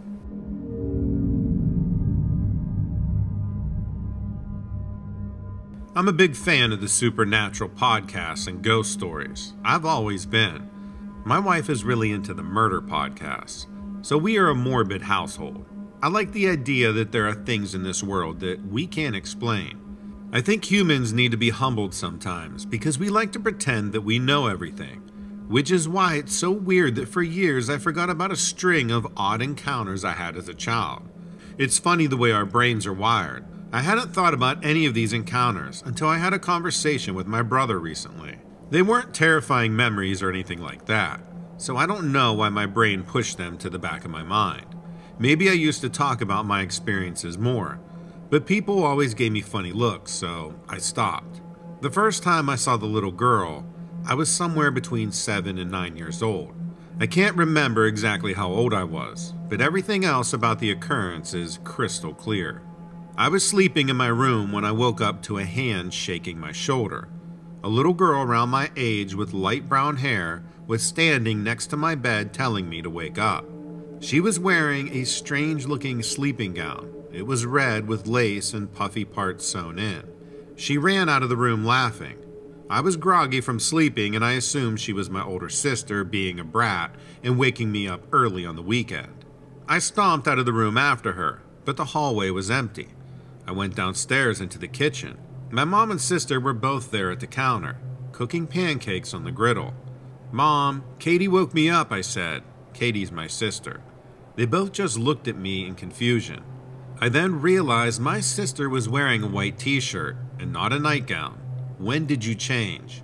Neither of them knew what was going on, and that made me even more irritated. My mom had to calm me down, and I explained what happened with the little girl in the red nightgown who woke me up. She told me it was just a dream. At the time, I thought she was right. A few months later, I saw her again. I think it was late summer or early fall, around Labor Day, because me and my family were headed to my uncle's house for a family cookout. We were all in the car ready to go, but my mom forgot to grab her purse. I was in the seat closest to the door, so she made me get out of the car to go get it. Of course, I made a big fuss about it because it was a pain in the butt as a child. Her purse was upstairs in my parents' bedroom, so I went into the house to go grab it. I specifically remember running up the stairs on all fours like an animal, because I was a kid, and kids are weird like that. As I rounded the corner to my parents' room, I heard someone humming. It wasn't a tune that I knew, it just sounded like mindless humming of a playing child. I was a little scared, but I poked my head around the doorframe to peek inside the room. The little girl was sitting on the floor with her back to me, rolling a small wooden ball back and forth between her hands. There was no mistaking her for my sister this time. I stood as still as possible. I was afraid she would notice me. I saw my mom's purse on the dresser behind the little girl. I thought about making a dash for it, but she snapped her head in my direction and started to giggle. A giggling little girl in a nightgown should not be scary, but she didn't belong there, so I ran back to the car. I told my mom I couldn't find her purse. She scoffed and went to get it herself. I got an earful when she came back and told me that it was right where she said it was. I think she could tell I was shaken up by something, so she stopped lecturing me when she saw that my mind was a million miles away. I haven't thought about either of those strange occurrences, or hauntings, if you want to call them that, for years, but two months ago, I was talking to my brother over a few drinks and he told me something that brought those memories crashing back. When he was younger, he would refuse to go upstairs by himself. We used to tease him about it and chalked it up to him being a scared little kid. We were rehashing old stories about him refusing to go upstairs as a child when he told me that he didn't like going upstairs back then because he would always hear a little girl giggling and sounds of small feet scampering around. He said his toys were always rearranged when he left them out in his room like someone else had come in and played with them.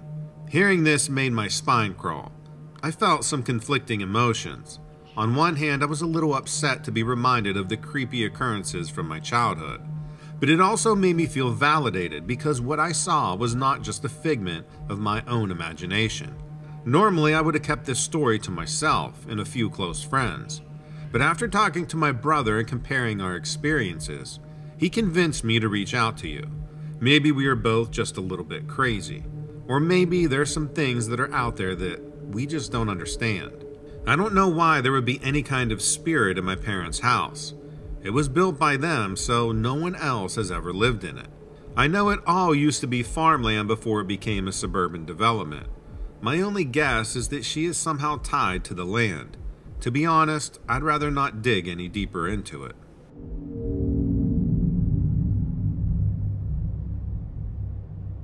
I was hiking a remote trail in the Rockies with my three German Shepherds a few years ago. I was carrying a relatively heavy pack, filled with water and other supplies, for Elvis, Luca, and Teddy, so I wasn't moving quickly enough to suit them. I knew I was probably the only human around for miles, so I let my dogs off their leashes so they could explore. All three dogs were well trained, and always come back immediately when I call for them, so I didn't really think there was any harm in it. A few miles in, I whistled for the dogs so we could take a water break. All three dogs came from different directions, panting happily and glad to get a snack. It was a gorgeous day, and the rock I was sitting on was warm from the sun. My dogs all curled up in the grass nearby, and even though I didn't mean to, I dozed off for a little while. I couldn't have been asleep for more than 20 minutes, but when I woke up, it was absolute chaos. All three dogs were barking hysterically, with lots of growls and yelps. I couldn't see them, but it sounded like they were close by. I scrambled off the trail towards the sound, and I could hear a new noise. It was a deep, low pitched moan.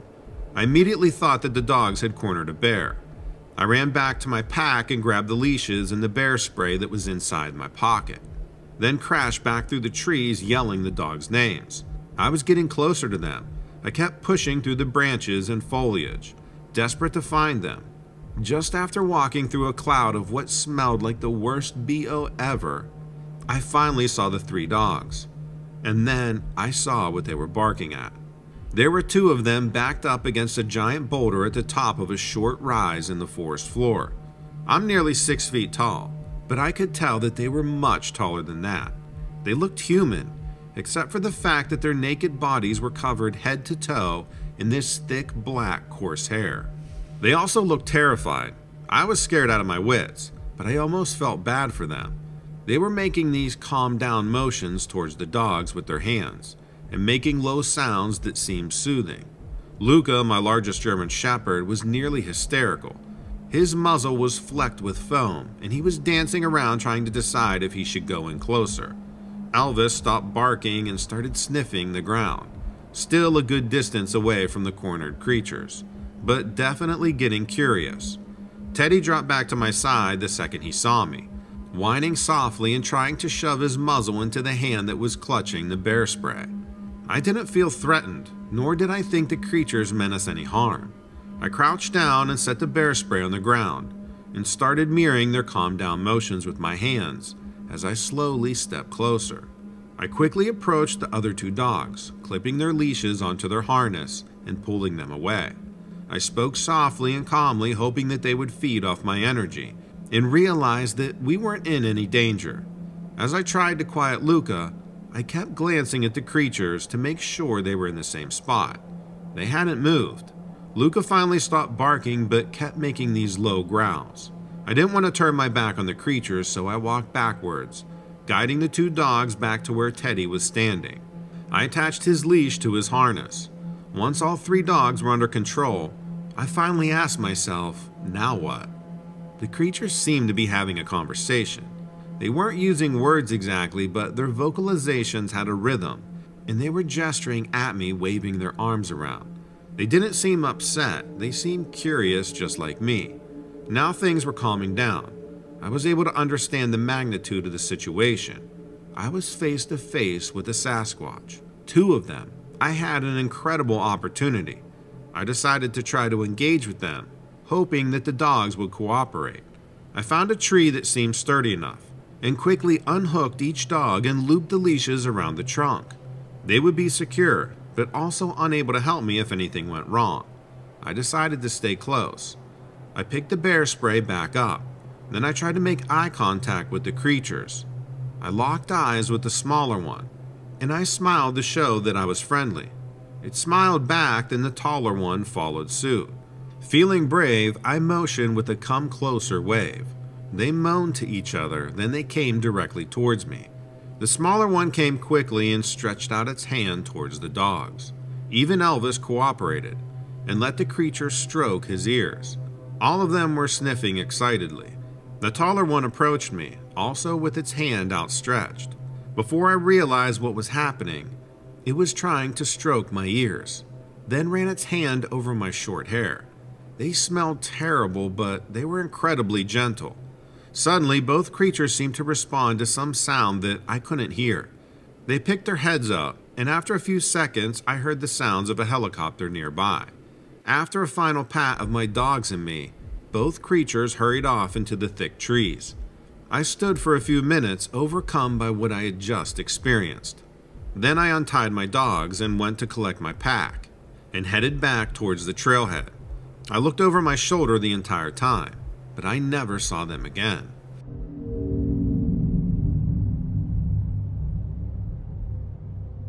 I never believed in aliens until two of them were standing in my bedroom. I woke up in the middle of the night, I reached for my water bottle and sat up to take a sip. There were two humanoid figures standing at the end of my bed. I'm not sure why, but I wasn't scared. I was immediately filled with an incredible calm that spread throughout my entire body. I knew that I should be scared, but my fight or flight system couldn't combat the peace that I felt. I looked at my sleeping wife to see if she sensed anything happening, but she just kept snoring softly. The aliens didn't have green skin. It was shiny and looked like fish scales. They weren't wearing clothes. Their heads looked exactly like the images you see on posters and bumper stickers, with gigantic black eyes and tiny holes where their noses should be. Their fingers were thin and very long. They made little chirpy sounds that sounded like conversation in a language that I didn't recognize. I watched, very interested, as they both walked into the bathroom. My wife doesn't like the dark, so we leave a small nightlight on in there, in case she ever needed to use the bathroom in the middle of the night. In the weak light, I watched them examine the stuff on the counter, like toothbrushes and lotions. They didn't touch anything, but I heard their chirps and they sounded excited. They opened a few of the drawers and I saw one of them hold up a cotton swab. He showed it to his friend, and they took turns sniffing it and turning it over in their hands. They moved out of my line of sight, so I calmly got up and went into the bathroom too. I found both of them standing near the toilet. They were touching it, and one of them pushed the lever and flushed the toilet. And they both jumped back. Then they moved towards the bathtub, and to my surprise, both of them climbed in. They looked at me expectantly, so I walked over and turned on the tap. Both of them seemed impressed, stretching out their long fingers to feel the water that was gushing out. I adjusted the temperature, and they made these satisfying chirps as the water warmed up. One of them gestured towards the knob that activated the shower spray. I shook my head, worried about blasting them with water. It gestured again, and in my weird calm, I decided to go for it. I turned the knob and the water poured out of the shower head onto their fish scales. They made these shrieky sounds, but it really sounded like laughter. They spent a few minutes splashing each other, then gestured to me to turn it off. Because things were already really weird, I handed them both bath towels, and I mimed drying my skin, and they understood immediately and dried themselves, chirping happily the whole time. They dropped the towels on the floor and headed back out into the bedroom. They gestured for me to climb back into bed. I did, taking another sip of water as I settled under the covers. And then I drifted off to sleep. When I woke up the next morning, that beautiful sense of calm was gone. My eyes shot open and I looked frantically around the room. Nothing seemed amiss, and for a second I thought that it was just a strange room. Just then, my wife came out of the bathroom and she asked me why there were two wet towels on the floor.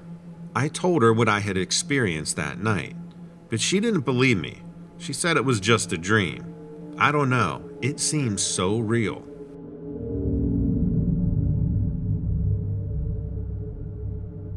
This strange creature attacked Toby in Shenandoah National Park during their hike up Old Rag. He took this picture right before the attack happened. His friend Nick sent me this story to stories at dread.army. Now stick around because I'm going to analyze this photo a little later. Let's hear what he had to say. Hi Donovan. This happened last spring, but I never saw your channel until last week. I'm glad I found you so I can spread the word. I've got proof that these creatures really do exist. Enclosed is a picture my buddy snapped right before he got attacked. Now the authorities are trying to cover it up. Here's what happened. Me and Toby are both experienced hikers. We've always wanted to do the Old Rag Mountain hike in Virginia, at Shenandoah. It's like a bucket list thing. We both finally got some time off work and decided to go for it. The thing about this trail is they don't allow you to camp above 2,800 feet, and this summit is just over 3,500 feet, so we decided to backcountry camp in the Berry Hollow area.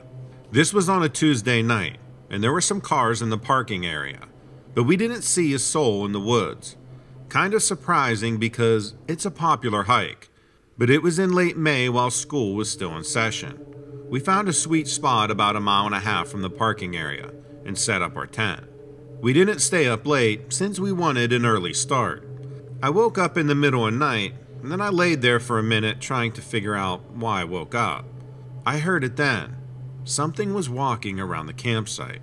I sat up and listened, but I didn't panic. I figured it was a deer close by, so I laid back down. No growling or grunting, nothing to worry about, right?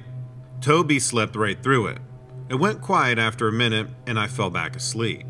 I told Toby about it the next morning. We both took a look around the campsite. There was an acrid smell in the air, and we figured maybe it was a buck marking its territory.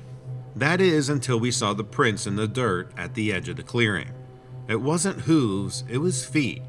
It was very odd shape, tracks that neither one of us have ever seen before. They were bigger than our own feet, with claws on the end, but too skinny to be a bear's. There were only four toes and they were kind of spread out like a bird's foot is. We looked at it for a minute, but it was kind of smudged, so we couldn't really say for sure what it was. We didn't worry too much about it. We were psyched to begin our hike. It's just over a five mile hike to get from where we camped to the overlook. You gotta go down Weakley Hollow Fire Road for two and a half miles, then turn onto Ridge Trail. From there, it's just shy of three miles to the overlook. It's real strenuous though. Even though we were doing this midweek, we wanted to start early because it got crowded. So we walked for a ways and everything seemed perfect. Great weather, nice woodsy trail. We carried day packs with snacks and water and stopped every now and then to take a break. When we turned onto Ridge Trail, it got more difficult. There's these areas in the woods where it's not obvious which way to go. We had read in the guidebook to look for blue paint marking the way but we didn't see any of those marks. Maybe that's only on the rocks above the tree lines, I don't know. I was starting to think we got turned around. Then I saw a break in the tree line ahead, and I knew we were on the right track. I yelled to Toby, We're getting close, and to hurry up. He yelled back for me to go ahead and he'd catch up.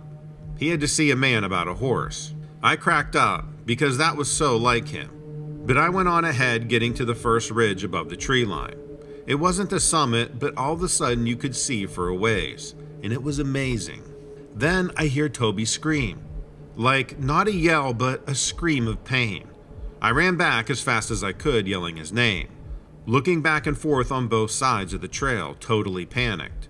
I saw his blue jacket through the brush on the side of the trail, and I ran to him. He was on the ground. He was bleeding and his jacket was all ripped. He was alive, though, thank God.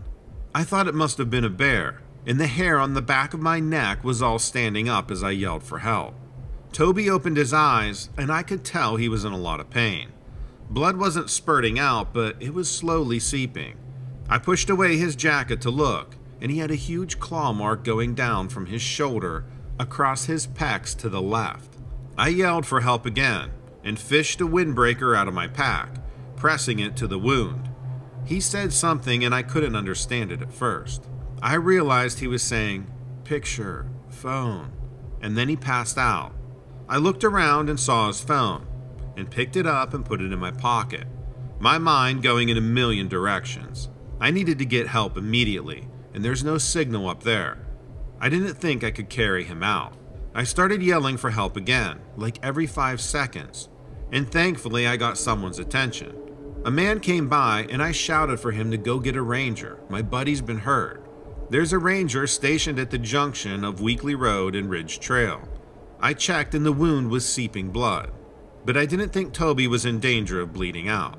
I kept one hand on the jacket pressing down and fished his phone out. I needed to see the picture. I was in shock when I opened the phone, and this picture popped up. It looks like a dinosaur. This thing was in the woods here with us. I was totally freaked out looking around, hoping it wouldn't come back. I didn't have to wait long for help to arrive. I just said I didn't know what attacked him. I needed them to focus on my buddy at that point, and to be honest, I was doubting my own eyes. I wanted to look at the picture real good before I told someone about it. They got Toby to the hospital, and I looked at the picture again. Unbelievable. The proof was right there. I hit share on his phone and sent a copy to myself. I then showed the picture to the ranger, who was there to take my statement. I told him that Toby had snapped it right before he was attacked. I also mentioned that something had been at our campsite the night before. Maybe this thing had been stalking us. I handed over the phone, waiting to see his face when he saw the creature. He totally shut down, no expression at all. He just said, Hmm, okay. I need to hang on this to show my supervisor. I said, What is that thing? And he just said that they would investigate. Toby's okay.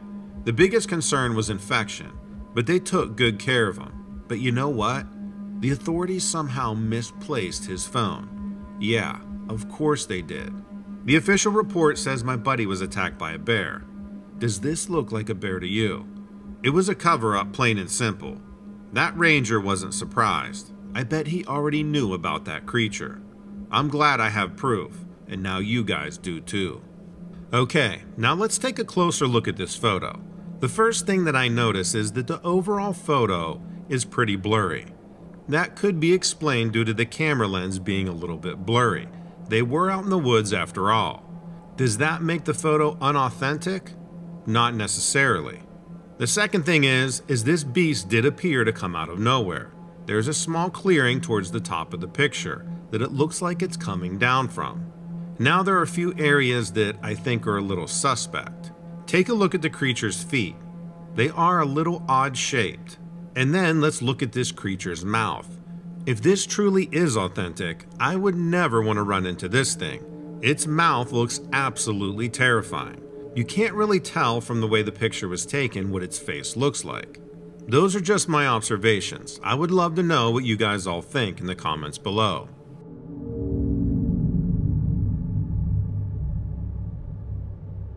Back in the day, me and my friends used to think it was entertaining to go out late at night and shoot at raccoons.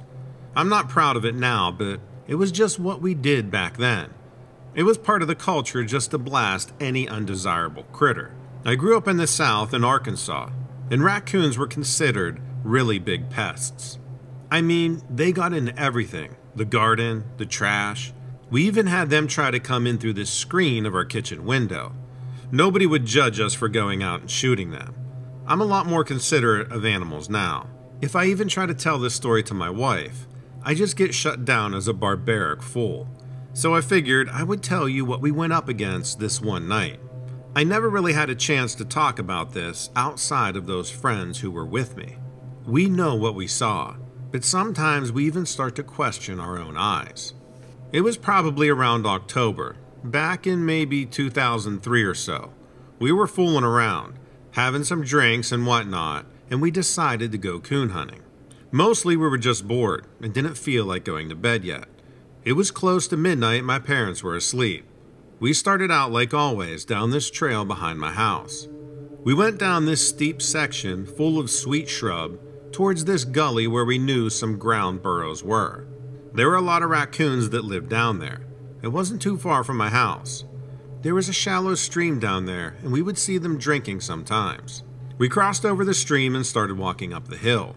There is this good spot with a lot of big stones where we could kind of hide out. We settled in and took cover and scoped out the area. I had my shotgun across my knees. My friends didn't have theirs since we really hadn't planned this. We sat there trying to keep quiet. We were a little buzzed, so we kept bursting out laughing over nothing. We watched over any movement, but we didn't see anything at all. It actually seemed extra quiet that night. No crickets or anything. It started to get pretty cold, and we weren't exactly dressed for the weather. After about an hour of that, we decided we should give up and head back. I had this field spotlight with a hunting lens, and I thought I would take another look before we called it a night. I turned it on and we saw something about 20 feet away. It was on all fours with its nose on the ground. We couldn't tell if it was eating something or what. It sure wasn't any raccoon. The spotlight coming on didn't even seem to phase it at all, but it sure made it look towards us. That's when things got scary. It took a step towards us and lifted up on the two legs. It started growling this really low guttural growl. It stretched itself up and puffed out its chest. It had this really thick coat of fur around its neck. To me, it looked like it was at least six or seven feet tall, and the claws on that thing were like two inches long. It bared its teeth and it reminded me of my friend's Doberman Pinscher when it used to corner something. It even smelled like a really dirty wet dog. We were all just staring at it, completely petrified. For a minute, it felt like a standoff. It took another step towards us, and I had my shotgun leveled. I fired a shot and hit that thing right in the side of its ribs. Usually, hitting something that close with a 12 gauge shotgun would cause a big hole, and a typical animal wouldn't walk away from it. A spray of blood burst out of that creature, and it let out this loud yelp. But the shot didn't knock it down. We were shocked that it just started sprinting away and ran out of my circle of light. My friends were freaking out and yelling at me to shoot it again. I fired two more times at it, but it was so fast that it got out of my range really quick and I missed it. We got up and started following in the direction it ran. I mean, talk about fools. It's hard to believe how stupid we were when we were that young. We went for about 10 feet and found this large pool of blood. Then we went a little further and found a smaller pool of blood. We kept going and spotting footprints that we could follow.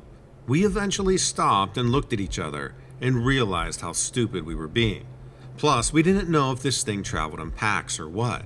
Who knows how many of them there could have been? The way it looked, we were thinking we had encountered a real life werewolf. We started imagining that thing laying low for us and watching us, getting ready for its revenge. We were really scared by then and started heading mostly in the direction of my house. But every little sound would freak us out, and we would take cover wherever we could. It took us a long time to make it all the way back to my house, since we were convinced that that thing was watching us. We made it back and went to bed, and really never mentioned it to anybody. Like I said, I've tried to tell my wife, but I just start feeling like a fool. I'm hoping that somebody else hearing this will know what I'm talking about. It's so weird to have an experience like that and know that most people will just think you're crazy.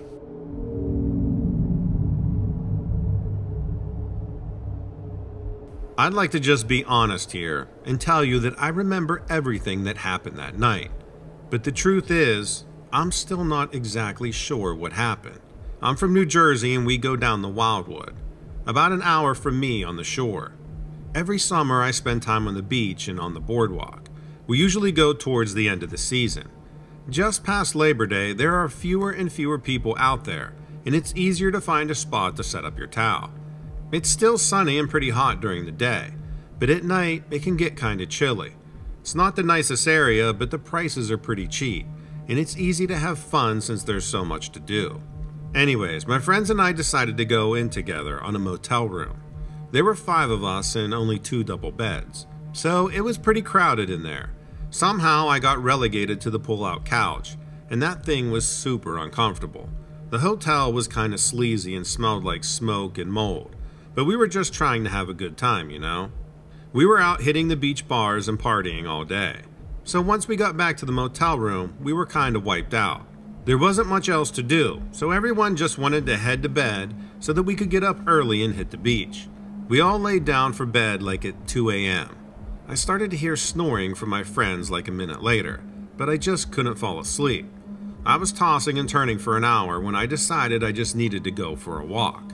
I put on my flip flops and sweatshirt and headed out the door. It was pretty chilly out, and the wind was kind of brutal once in a while. There was a full moon, so the whole place had an eerie feeling to it. You can't see the stars when you're in the town, so I decided to head towards the beach so I could get a better look. I was starting to sober up, but I wasn't completely sober at that point. I still know what I saw though. I walked out of the motel and down the road for a bit. No one was really out except for the people leaving the bars and some strange vagabonds on the road. Once I got to the boardwalk, it got a bit more lively. There were some places still open, but I stuck with my plan of checking out the beach at night. The thing about Wildwood is the beach is really huge, and I don't mean width-wise. It's extremely long, and when you're walking to the water on a hot summer day, your feet will start to burn on the sand. Even during high tide, the walk can be almost 10 minutes if you're carrying all of your beach gear, shovels, and umbrellas. But while I was walking at night, it felt like it was super quick. No one else was out at that point, so when I got to the water's edge, I was surprised to see a figure in the waves. The moon was shining down on the waves as they broke. The white caps would sparkle. About 30 feet away in the water, I could see the outline of a person. It was kind of a vague form, and there wasn't much light to go by. I pulled out my phone and turned on my flashlight as I called over to them to make sure they were okay. They were standing in the water, but it didn't make sense because the water would be super deep and it didn't even seem like they were struggling. The waves pulled back for a moment, and I realized that the person wasn't a person at all. The figure was really the tentacle of a squid or something. I don't know. I've never been a believer in sea monsters or anything like that. But it raised another tentacle out of the water, and I could see the suckers on the arm. It started to slide towards me on the shore, so I took a step back on the beach. The thing rose a bit out of the water, and I could see a big hump that I think was its head or its body. Then it ducked back down into the waves, and all that was left was a splash. I really don't know what that thing was. I tried to tell my friends, and they just thought I was crazy. They just don't get it. I know what I saw, and it was huge. Ever since, I've been too scared to go back in the ocean. And honestly, even pools get me a little nervous. If anyone has seen anything similar, I'd love to hear about it. Thanks for listening, and stay safe out there.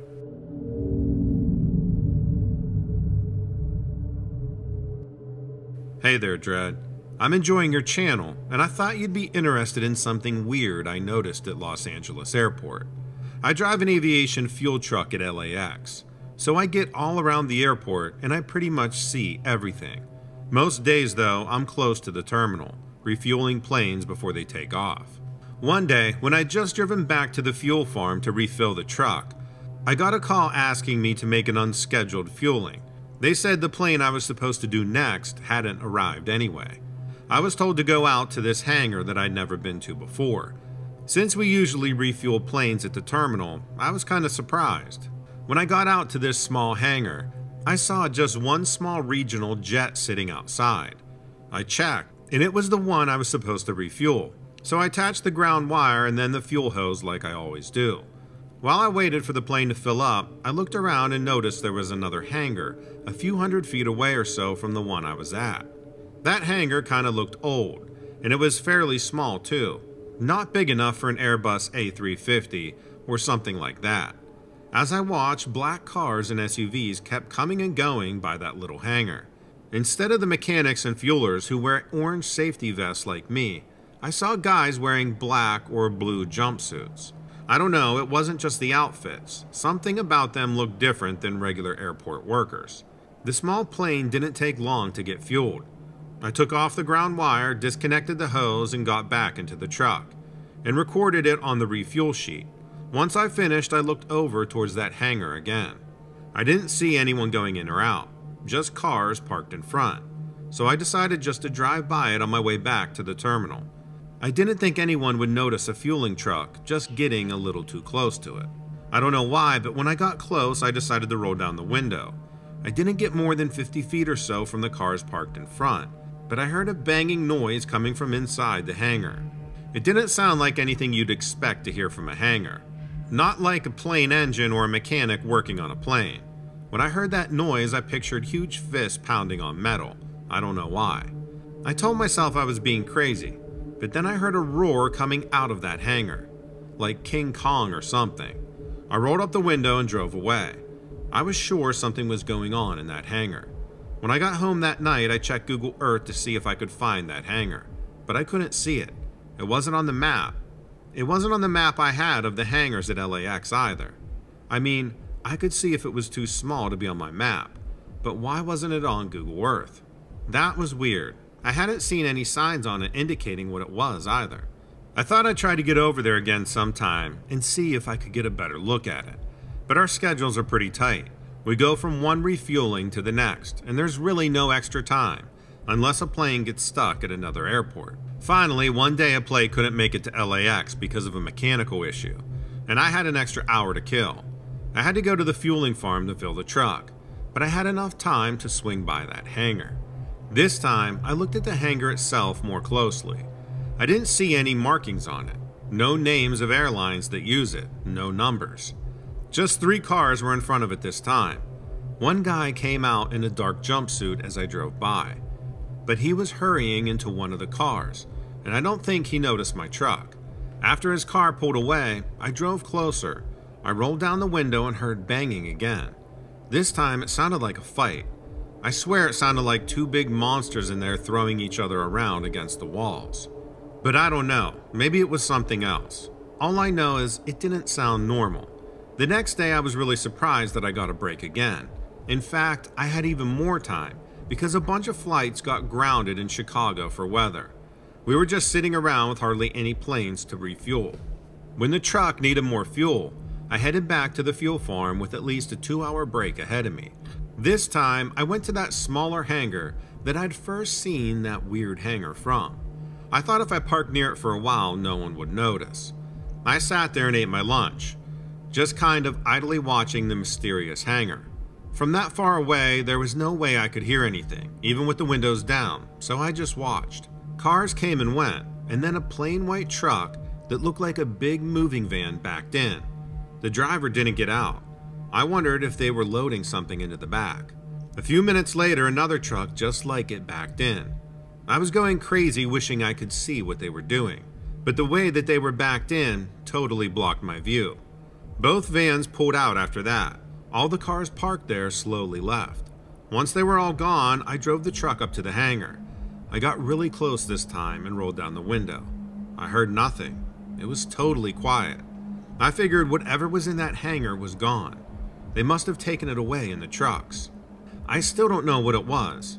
Since then, anytime I manage to go by that hangar, it's totally quiet. But something tells me that they're going to put something else in there. I'm going to keep watching it and see what happens.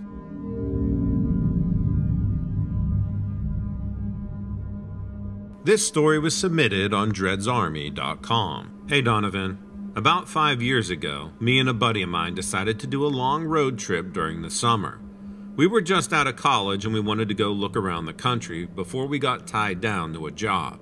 We wanted to travel around the US and kind of scope out different areas to see if a particular state might appeal to us. We had spent our whole lives living in Missouri, and that was all we really knew. We spent most of our time camping in the U.S. Forest Service and Bureau of Land Management areas. We were driving my four wheel drive pickup truck, so we could really get back into some fairly deep wilderness on the forest roads. After about a month on the road, we ended up on some land near Black Canyon of the Gunnison National Park in Colorado. It was our last night in Colorado, and we were exhausted from doing a 14 mile hike earlier that morning. Colorado had been a real adventure for us, with those incredible Rocky Mountains. There was an option of camping at the national park, but that would have cost us money. We were still basically just broke college kids. We had found the GPS coordinates for a dispersed camping site online. That led us to the end of a paved road in the evening around 7 p.m. We came to this dirt road that went up through some trees and brush. It didn't look well traveled at all, but that was how we tended to like it. Those out of the way kind of roads had taken us up some pretty spectacular scenery. This dirt road made its way to the top of a hill that had some amazing views of snow capped mountains. We didn't pass a car the entire way up. It was a pretty rough road, but my truck made it up to the campsite easily. When we got there, we sat in the truck, scoping it out. It wasn't the best site we'd been to, but it wasn't the worst either. There was no restroom of any kind, but there was a fire pit and lots of trees. But we also saw an abandoned couch and some other odd signs of human trash. It actually started feeling a little bit off putting. The vibes were kind of weird, but it was getting late and we were too tired to look for something better. We got out of the truck and started walking around. We found some garbage bags wrapped in duct tape. I was like, this seems like a place that we would find a body or something. My friend agreed. Neither one of us loved the setting. We noticed a trail that seemed to go up in a circle around the top of a hill. We decided to check that out before we committed to staying. We found some more trash and what looked like old clothes, but nothing that made us feel like we should leave. It was getting close to dark, so we decided to cowboy camp instead of setting up all of our gear. That meant just sleeping on a tarp in our sleeping bags under the stars. That 14 mile hike we did earlier that day had really taken it out of us, and we weren't completely used to the altitude yet. Back in Missouri, we were at something like 500 feet altitude, and now we're up over 8,000 feet. We figured we would get a nice fire going and have a few by the fire. but even with a nice buzz going, we still felt a little uneasy. Every couple of minutes, one of us would shine a light into the woods. We kept thinking that we heard something, even though this was like our 30th consecutive night sleeping outside. It didn't exactly feel comfortable. But it was late, so we started getting ready for bed. We had our bear spray and headlamps ready. I stepped into the woods to go to the bathroom and walked in about 10 feet into the trees. I was standing there and I started hearing this sound of something crashing through the woods. I turned on my headlamp and my knees almost buckled. In the center of my beam was a bunch of bleached bones lying there in a pile. That, in combination with the crashing sounds, was giving me some serious panic. If I hadn't already been going to the bathroom, I probably would have went in my pants. I yelled out to my friend, Get over here. I don't know why I just didn't run back to the truck. He ran over and shined his headlamp on the scene in front of us. That's when we started hearing this growling sound and smelling this horrible garbage smell, like really rotten garbage. We were kind of just mesmerized by the sight of those bones, and we kept angling our headlamps back and forth to try to illuminate the trees as much as we could. Then our lights caught sight of this demonic looking face with a large snout. Whatever it was was just crouching there, snarling at us. Then all of a sudden it stood up on its back legs. It looked something like a giant hyena, about six or seven feet tall. The consensus between us was screw this. We ran back to our camp and threw our stuff into the truck, and we got the hell out of there as fast as we could. We drove down that pitted dirt road faster than I ever thought possible. I kept driving until we got to the National Park campground. I never felt so happy to pay $25 and have neighbors nearby. It scared the bloody hell out of us, and we still have no idea what it was.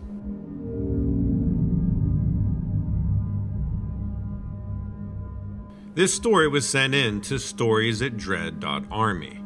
Hey Donovan, I'm a new subscriber, and I've been binge watching and listening to your content. You are in luck. I've been wanting to tell this story, but I haven't found the right place to do so until now. Ever since I can remember, I've had an interest in the paranormal and alien UFO phenomena. My ex, with whom I was with at the time of this experience, was far from that. Right out of the Air Force, she became a cop for a nearby town. Her father was a cop, and I believe his father was a cop, so needless to say, they were pretty thick skinned. About 10 years ago, I was at her place in a small town called Pacific Grove, near Monterey Bay. She lived right off the ocean and a short walk from what's called Lover's Point. Well, one night I was over at her place and we decided to take her dog for a walk. I hated that dog and that dog didn't like me, but walk we did. It was around 8:30 p.m. Completely dark out, we started walking out towards the ocean, then down the roads towards Lover's Point. As you get closer to Lover's Point, you can see over across the bay, overlooking Monterey and Seaside. There's an Embassy Suites in Seaside, which is dead straight on as you walk up to the point. It's the tallest building on the city skyline. As we got closer to the point, I told her, Wow, look at that star. It's a bright one. She asked, What star? I said, The one next to the Embassy Suites building. Right at that moment, I realized it wasn't a star. It was a plane, possibly a helicopter. We both stared at it, thinking, what in the heck is that? The bright light continued to slowly move towards us. We could see the light reflecting off the ocean as it cruised right over the bay. We just stared, dumbfounded, trying to figure out what it was. It continued to come in our direction until it glided right over us, then banked left and glided over Pacific Grove then Monterey, and eventually flew out of sight. This was massive. As it glided right over us, I could see it was triangular shaped, with round lights emitting from the bottom. They were symmetrically oriented under the craft. It had a triangular tail wing to it, with round lights shooting out of the back. It must have been five or six hundred feet above us, and it was huge. The whole time we're watching it, I could still hear the waves crashing down the hill, about 80 feet away. So this thing was silent, absolutely no noise. Now, I'm a believer, but my ex wasn't. And she kept saying, Whoa, what is that? Wait, what is that? I had just bought a new smartphone, but neither one of us were smart enough to pull it out and take pictures of this. It was jaw dropping and stunned us to where the last thing on our mind was to take pictures. After it cleared the sky, we slowly walked back to our place in pure amazement, shock, and all around like, what in the heck just happened feeling. The moment I walked in, I hopped on the computer to check out the local outlets, or to see if anyone else called that in. She was still in shock. To my surprise, no other reports were made, and I was checking on it all night and the following days. Someone else had to have seen this thing. It glided so effortlessly over the bay in the city. It was big, it blocked out most of the sky as we looked straight up. For it to be silent like that to where we could hear the waves crashing, it either was far higher than I thought, which would have made this thing a mile wide at least, or it was a silent flying craft. Far, far too large to be a drone. Plus, there was no buzzing sounds. Nothing. Completely silent. The following days, I thought, did that really happen? She was now a believer, and I finally got to see an unidentified flying object. Don't take my word for it, she is since married, which I'm not sure what her new last name is, but you can look her up. Her name is Jessica Smith, and she works at the police department. I believe she currently lives in Monterey. She wouldn't want to hear from me, but if you ask her to corroborate this story, I guarantee she will tell you the exact same thing I said. I've been wanting to tell this story, but wanted the right place to do so. I like the way you narrate and everything sounds very credible. Her and I don't talk anymore. It's been 10 years since we last spoke. She doesn't like me whatsoever, but I know she will stand behind the story if asked. Here is a rough idea on what this thing looked like. I will never forget it. I may be off on the number of round lights on the bottom, but you get the idea. It looked like something from Star Wars or something. It appeared to be smooth, but the light was so bright under it. It was hard to tell the color or any other features. Please let me know if you need any other information. I told my wife this morning, this is the guy I want to tell my story. I'm sure you get a lot of emails, so I completely understand if this doesn't make the cut. You have great content either way, and happy to be a new subscriber of your channel.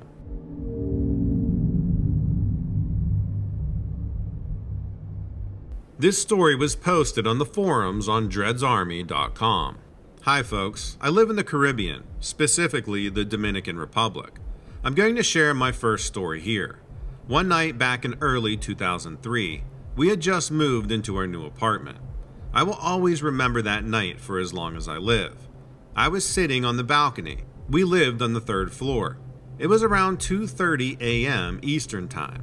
The lights had gone out, but the night was quite clear, so to speak, since the moon, which was behind me, must have been either full or quite close to it. I was sitting on a chair facing north when all of a sudden I saw this creature that flies by. I said, Wow, this bat has got to be huge. The wings were pointy like the wings of a bat. It must have been around 250 to 300 meters from where I was standing. The wings moved graciously up and down, not like an actual bat.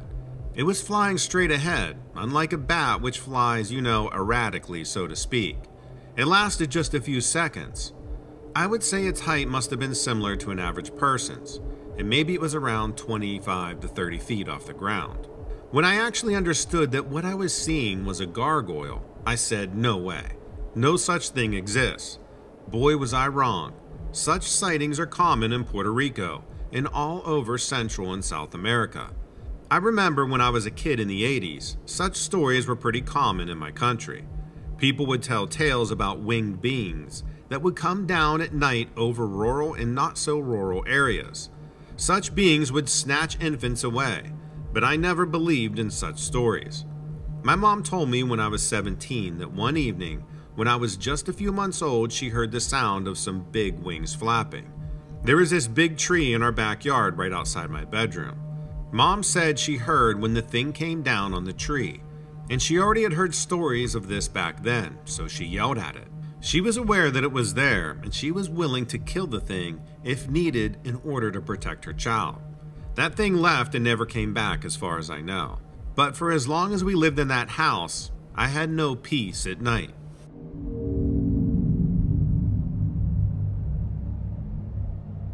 I'm a realtor in Willow Springs, Missouri. That's part of the Ozark Mountains, and very near to Mark Twain National Forest. I don't know if that has any bearing on what I saw, mostly because I'm not even sure what it was. But I'm getting ahead of myself.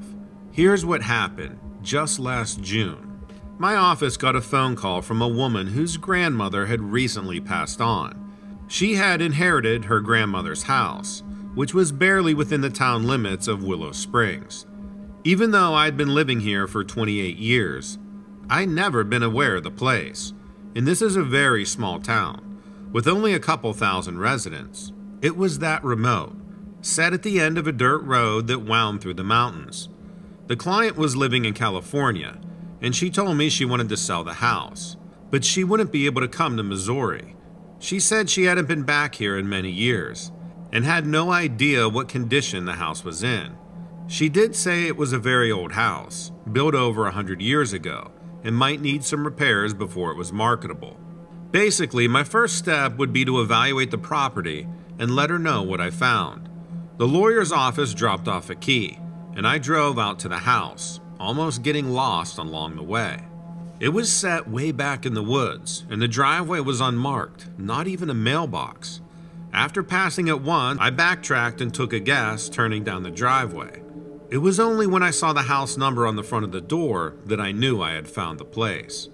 It was in more of a state of disrepair than I expected. The client had told me her grandmother had lived out the last of her days here, but it looked like it had been abandoned for years. The roof was badly in need of repair, starting to cave in on one section. The paint was peeling and the steps were broken. There was a set of bulkhead doors on the side of the house, secured with a rusted chain and padlock. I made a mental note to ask my client for the key.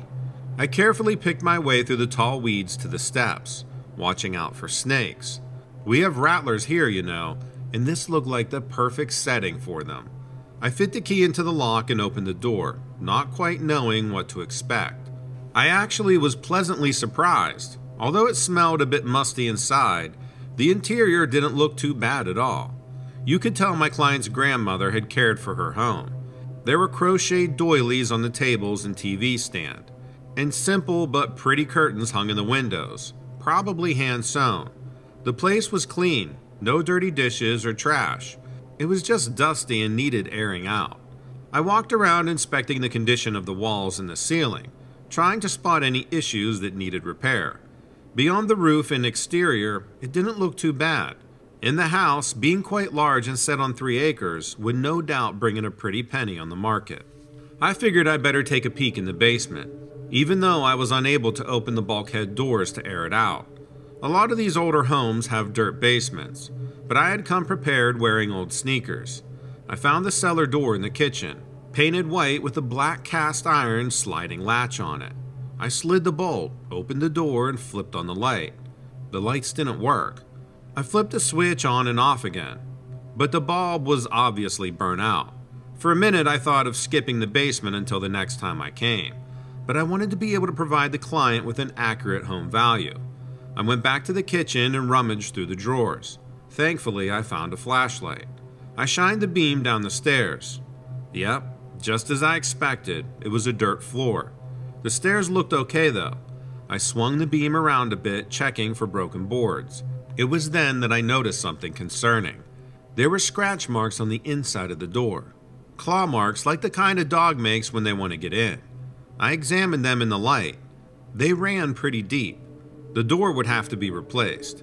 Filing that information away, I started down the steps, feeling bad for the old woman's dog apparently locked in the cellar.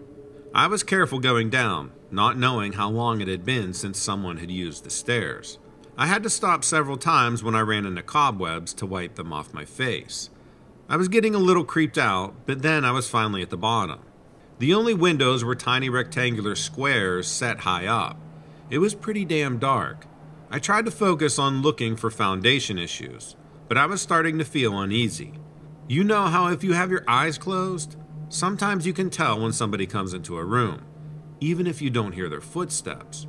Something about the way the air shifts, like the space you're in seems smaller when you share the room with someone else.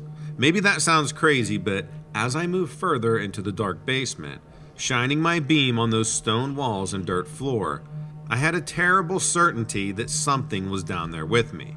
My heart started to pound and I started to panic, swinging my flashlight beam around erratically, trying to see what it was. I knew something was there. And then I saw it. It was crouched up on the rafters, a dark shape as big as a man. My flashlight beam caught the yellow reflection of its eyes. And then I saw a flash of teeth.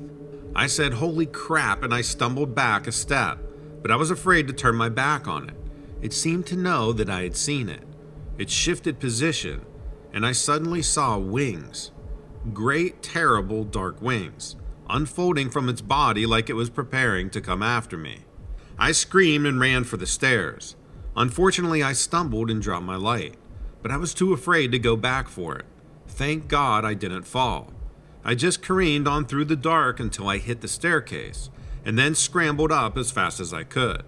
I heard a noise behind me, and I was absolutely terrified knowing this thing was gaining on me. I took those stairs two at a time, praying I didn't trip again, and by the grace of God, I made it to the top before it caught me. I barreled through the door and slammed it, bolting the latch and leaning back against it, trying to catch my breath. And that's when I heard it scratching down low on the door, just like a dog that wants to be let out. I ran from the house without even locking it behind me. I jumped in my truck and took off. I drove like a madman out of the woods, wanting nothing more than to reach town. Whatever that creature was, I never wanted to see it again. I didn't take on the account. I called the client's lawyer and said I'd gone out there and the front door was wide open. So I decided not to go in in case there were vagrants inside. Then I told him, after seeing how far out of town the property was, I had decided it wasn't a good fit for me. I mailed him back the key. The image of the property still haunts me, and sometimes I wonder is that why the bulkhead doors were padlocked shut?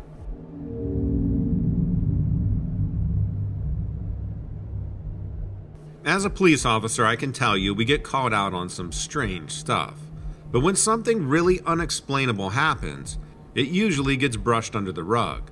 The higher ups don't want us to get a reputation for being wackos. And I mean, I can understand that. But if more people were allowed to tell their stories, then all of this stuff could become less taboo. Anyway, it's nice to be able to tell a story about this here anonymously.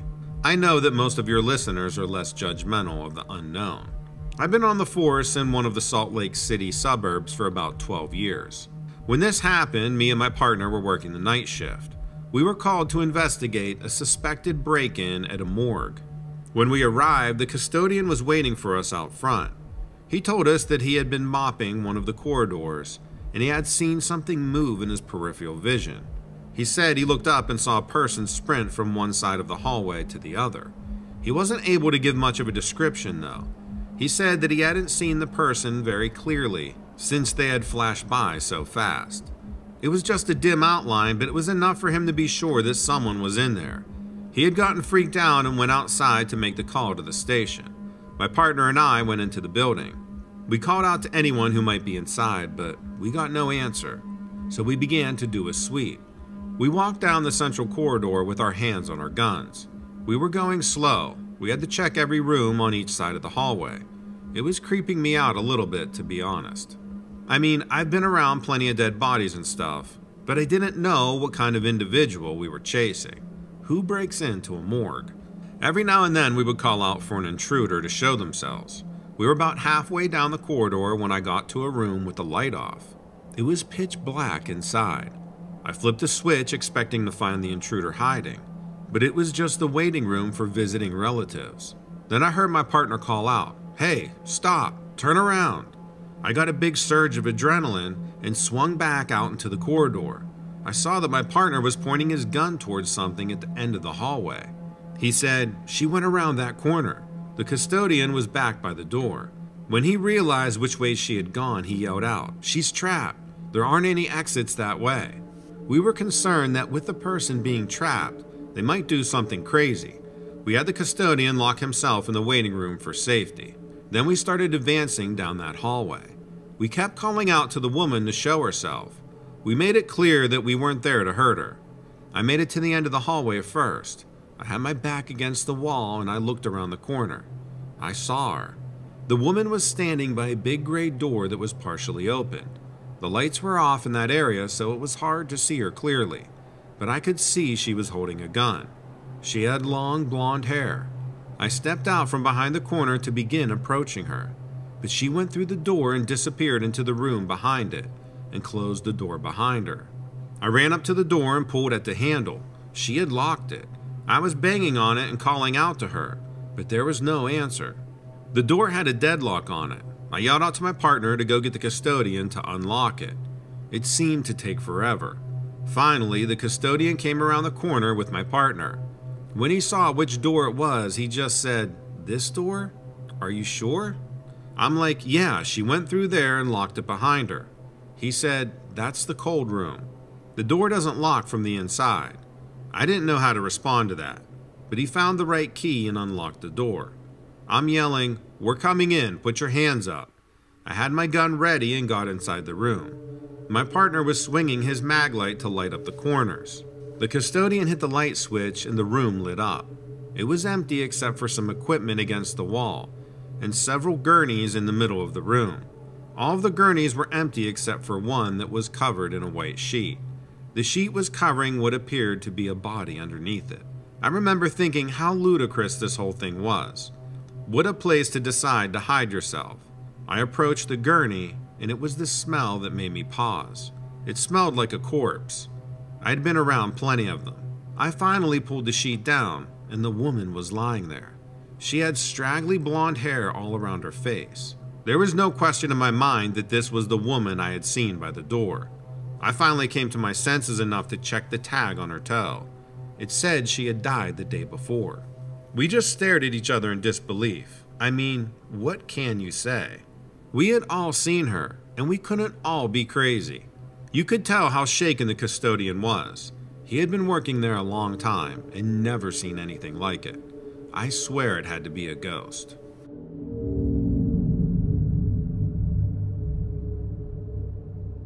I'm writing to you today because I work for a temp agency, and I just left the strangest government job and I need to tell somebody about this. Four months ago, I got a job working on a government project. On the first day of work, about 50 other temp workers and I walked into this huge empty warehouse. There were six men in suits sitting at a conference table, with a projector aimed at the wall.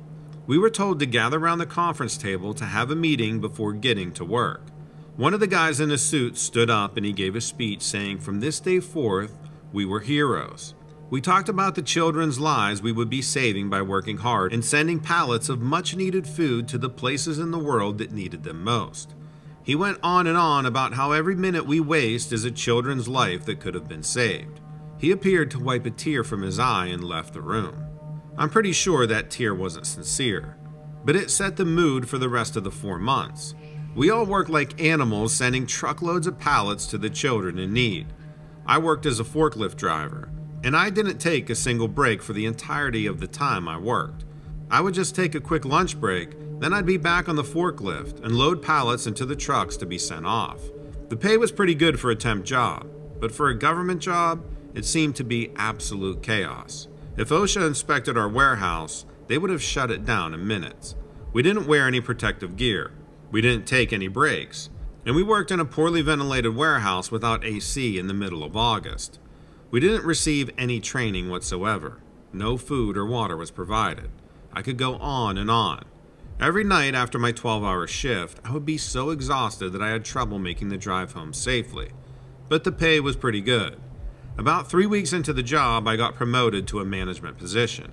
I was pumped because I got more pay, but I didn't know the first thing about how to manage an operation like that. The biggest perk was that they brought in an air conditioner trailer for me to do the paperwork in. The other workers looked at me with hate, but I couldn't complain. One day, a truck drove off the loading dock with a forklift driver still inside.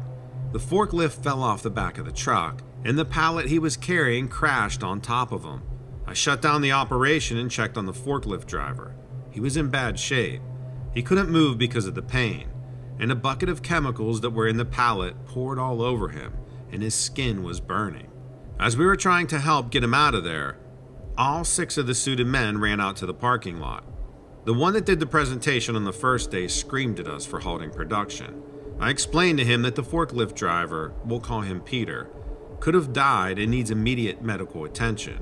The suited man had a breakdown that I was undermining his orders and was selfishly putting my friend's needs ahead of the poor children's needs. I was speechless. He screamed at everyone to get back to work, and they did. And everyone just ignored him and kept working. The suited men pulled out rubber gloves and picked up Peter and took him into my trailer. They locked the door, and I didn't see them for the rest of the shift. We just closed one dock where the forklift was blocking accessibility and continued working feverishly. I had never been in management before when there was an on site injury, so I did some research and learned the standard operating procedure is to fill out an employee report injury form. Thinking I was doing the right thing, I filled out all the information, printed it out, and gave it to the suited man. The next day I went to my trailer and it was still locked. I knocked on the door, and immediately one of the men pushed me back and closed the door to the trailer. I handed him the form and he immediately asked me how many copies I made. I just said the one, and he asked which computer I used to make the form. I explained I used my home computer, and he immediately took me to his car and had me give instructions to my address. We pulled up to my house and he followed me close behind. I went inside to grab my computer. He immediately grabbed my computer and threw it in his trunk. I started yelling at him and he gave me $2,000 in cash to get another one. My computer was only worth 300, so I took it. On the last day I walked in and the trailer was gone, and the warehouse was almost empty. The only thing in there was a conference table and the suited men. I walked up to them and they handed me an envelope with my last paycheck in it. They said that the project was top secret, and I couldn't talk about anything that had happened here. I agreed and I wished them the best. I walked outside and opened the envelope. There was a $20,000 bonus in there and a note that said silence. The temp agency has me working for a pest control company now, so things have settled down drastically in my life. I do often wonder what we were sending off by the truckload and whom we were sending them to. It wasn't food for children like we were told. It was some sort of deadly chemical, and I don't know who was ordering so much of it. I also don't like the fact that those people know where I live.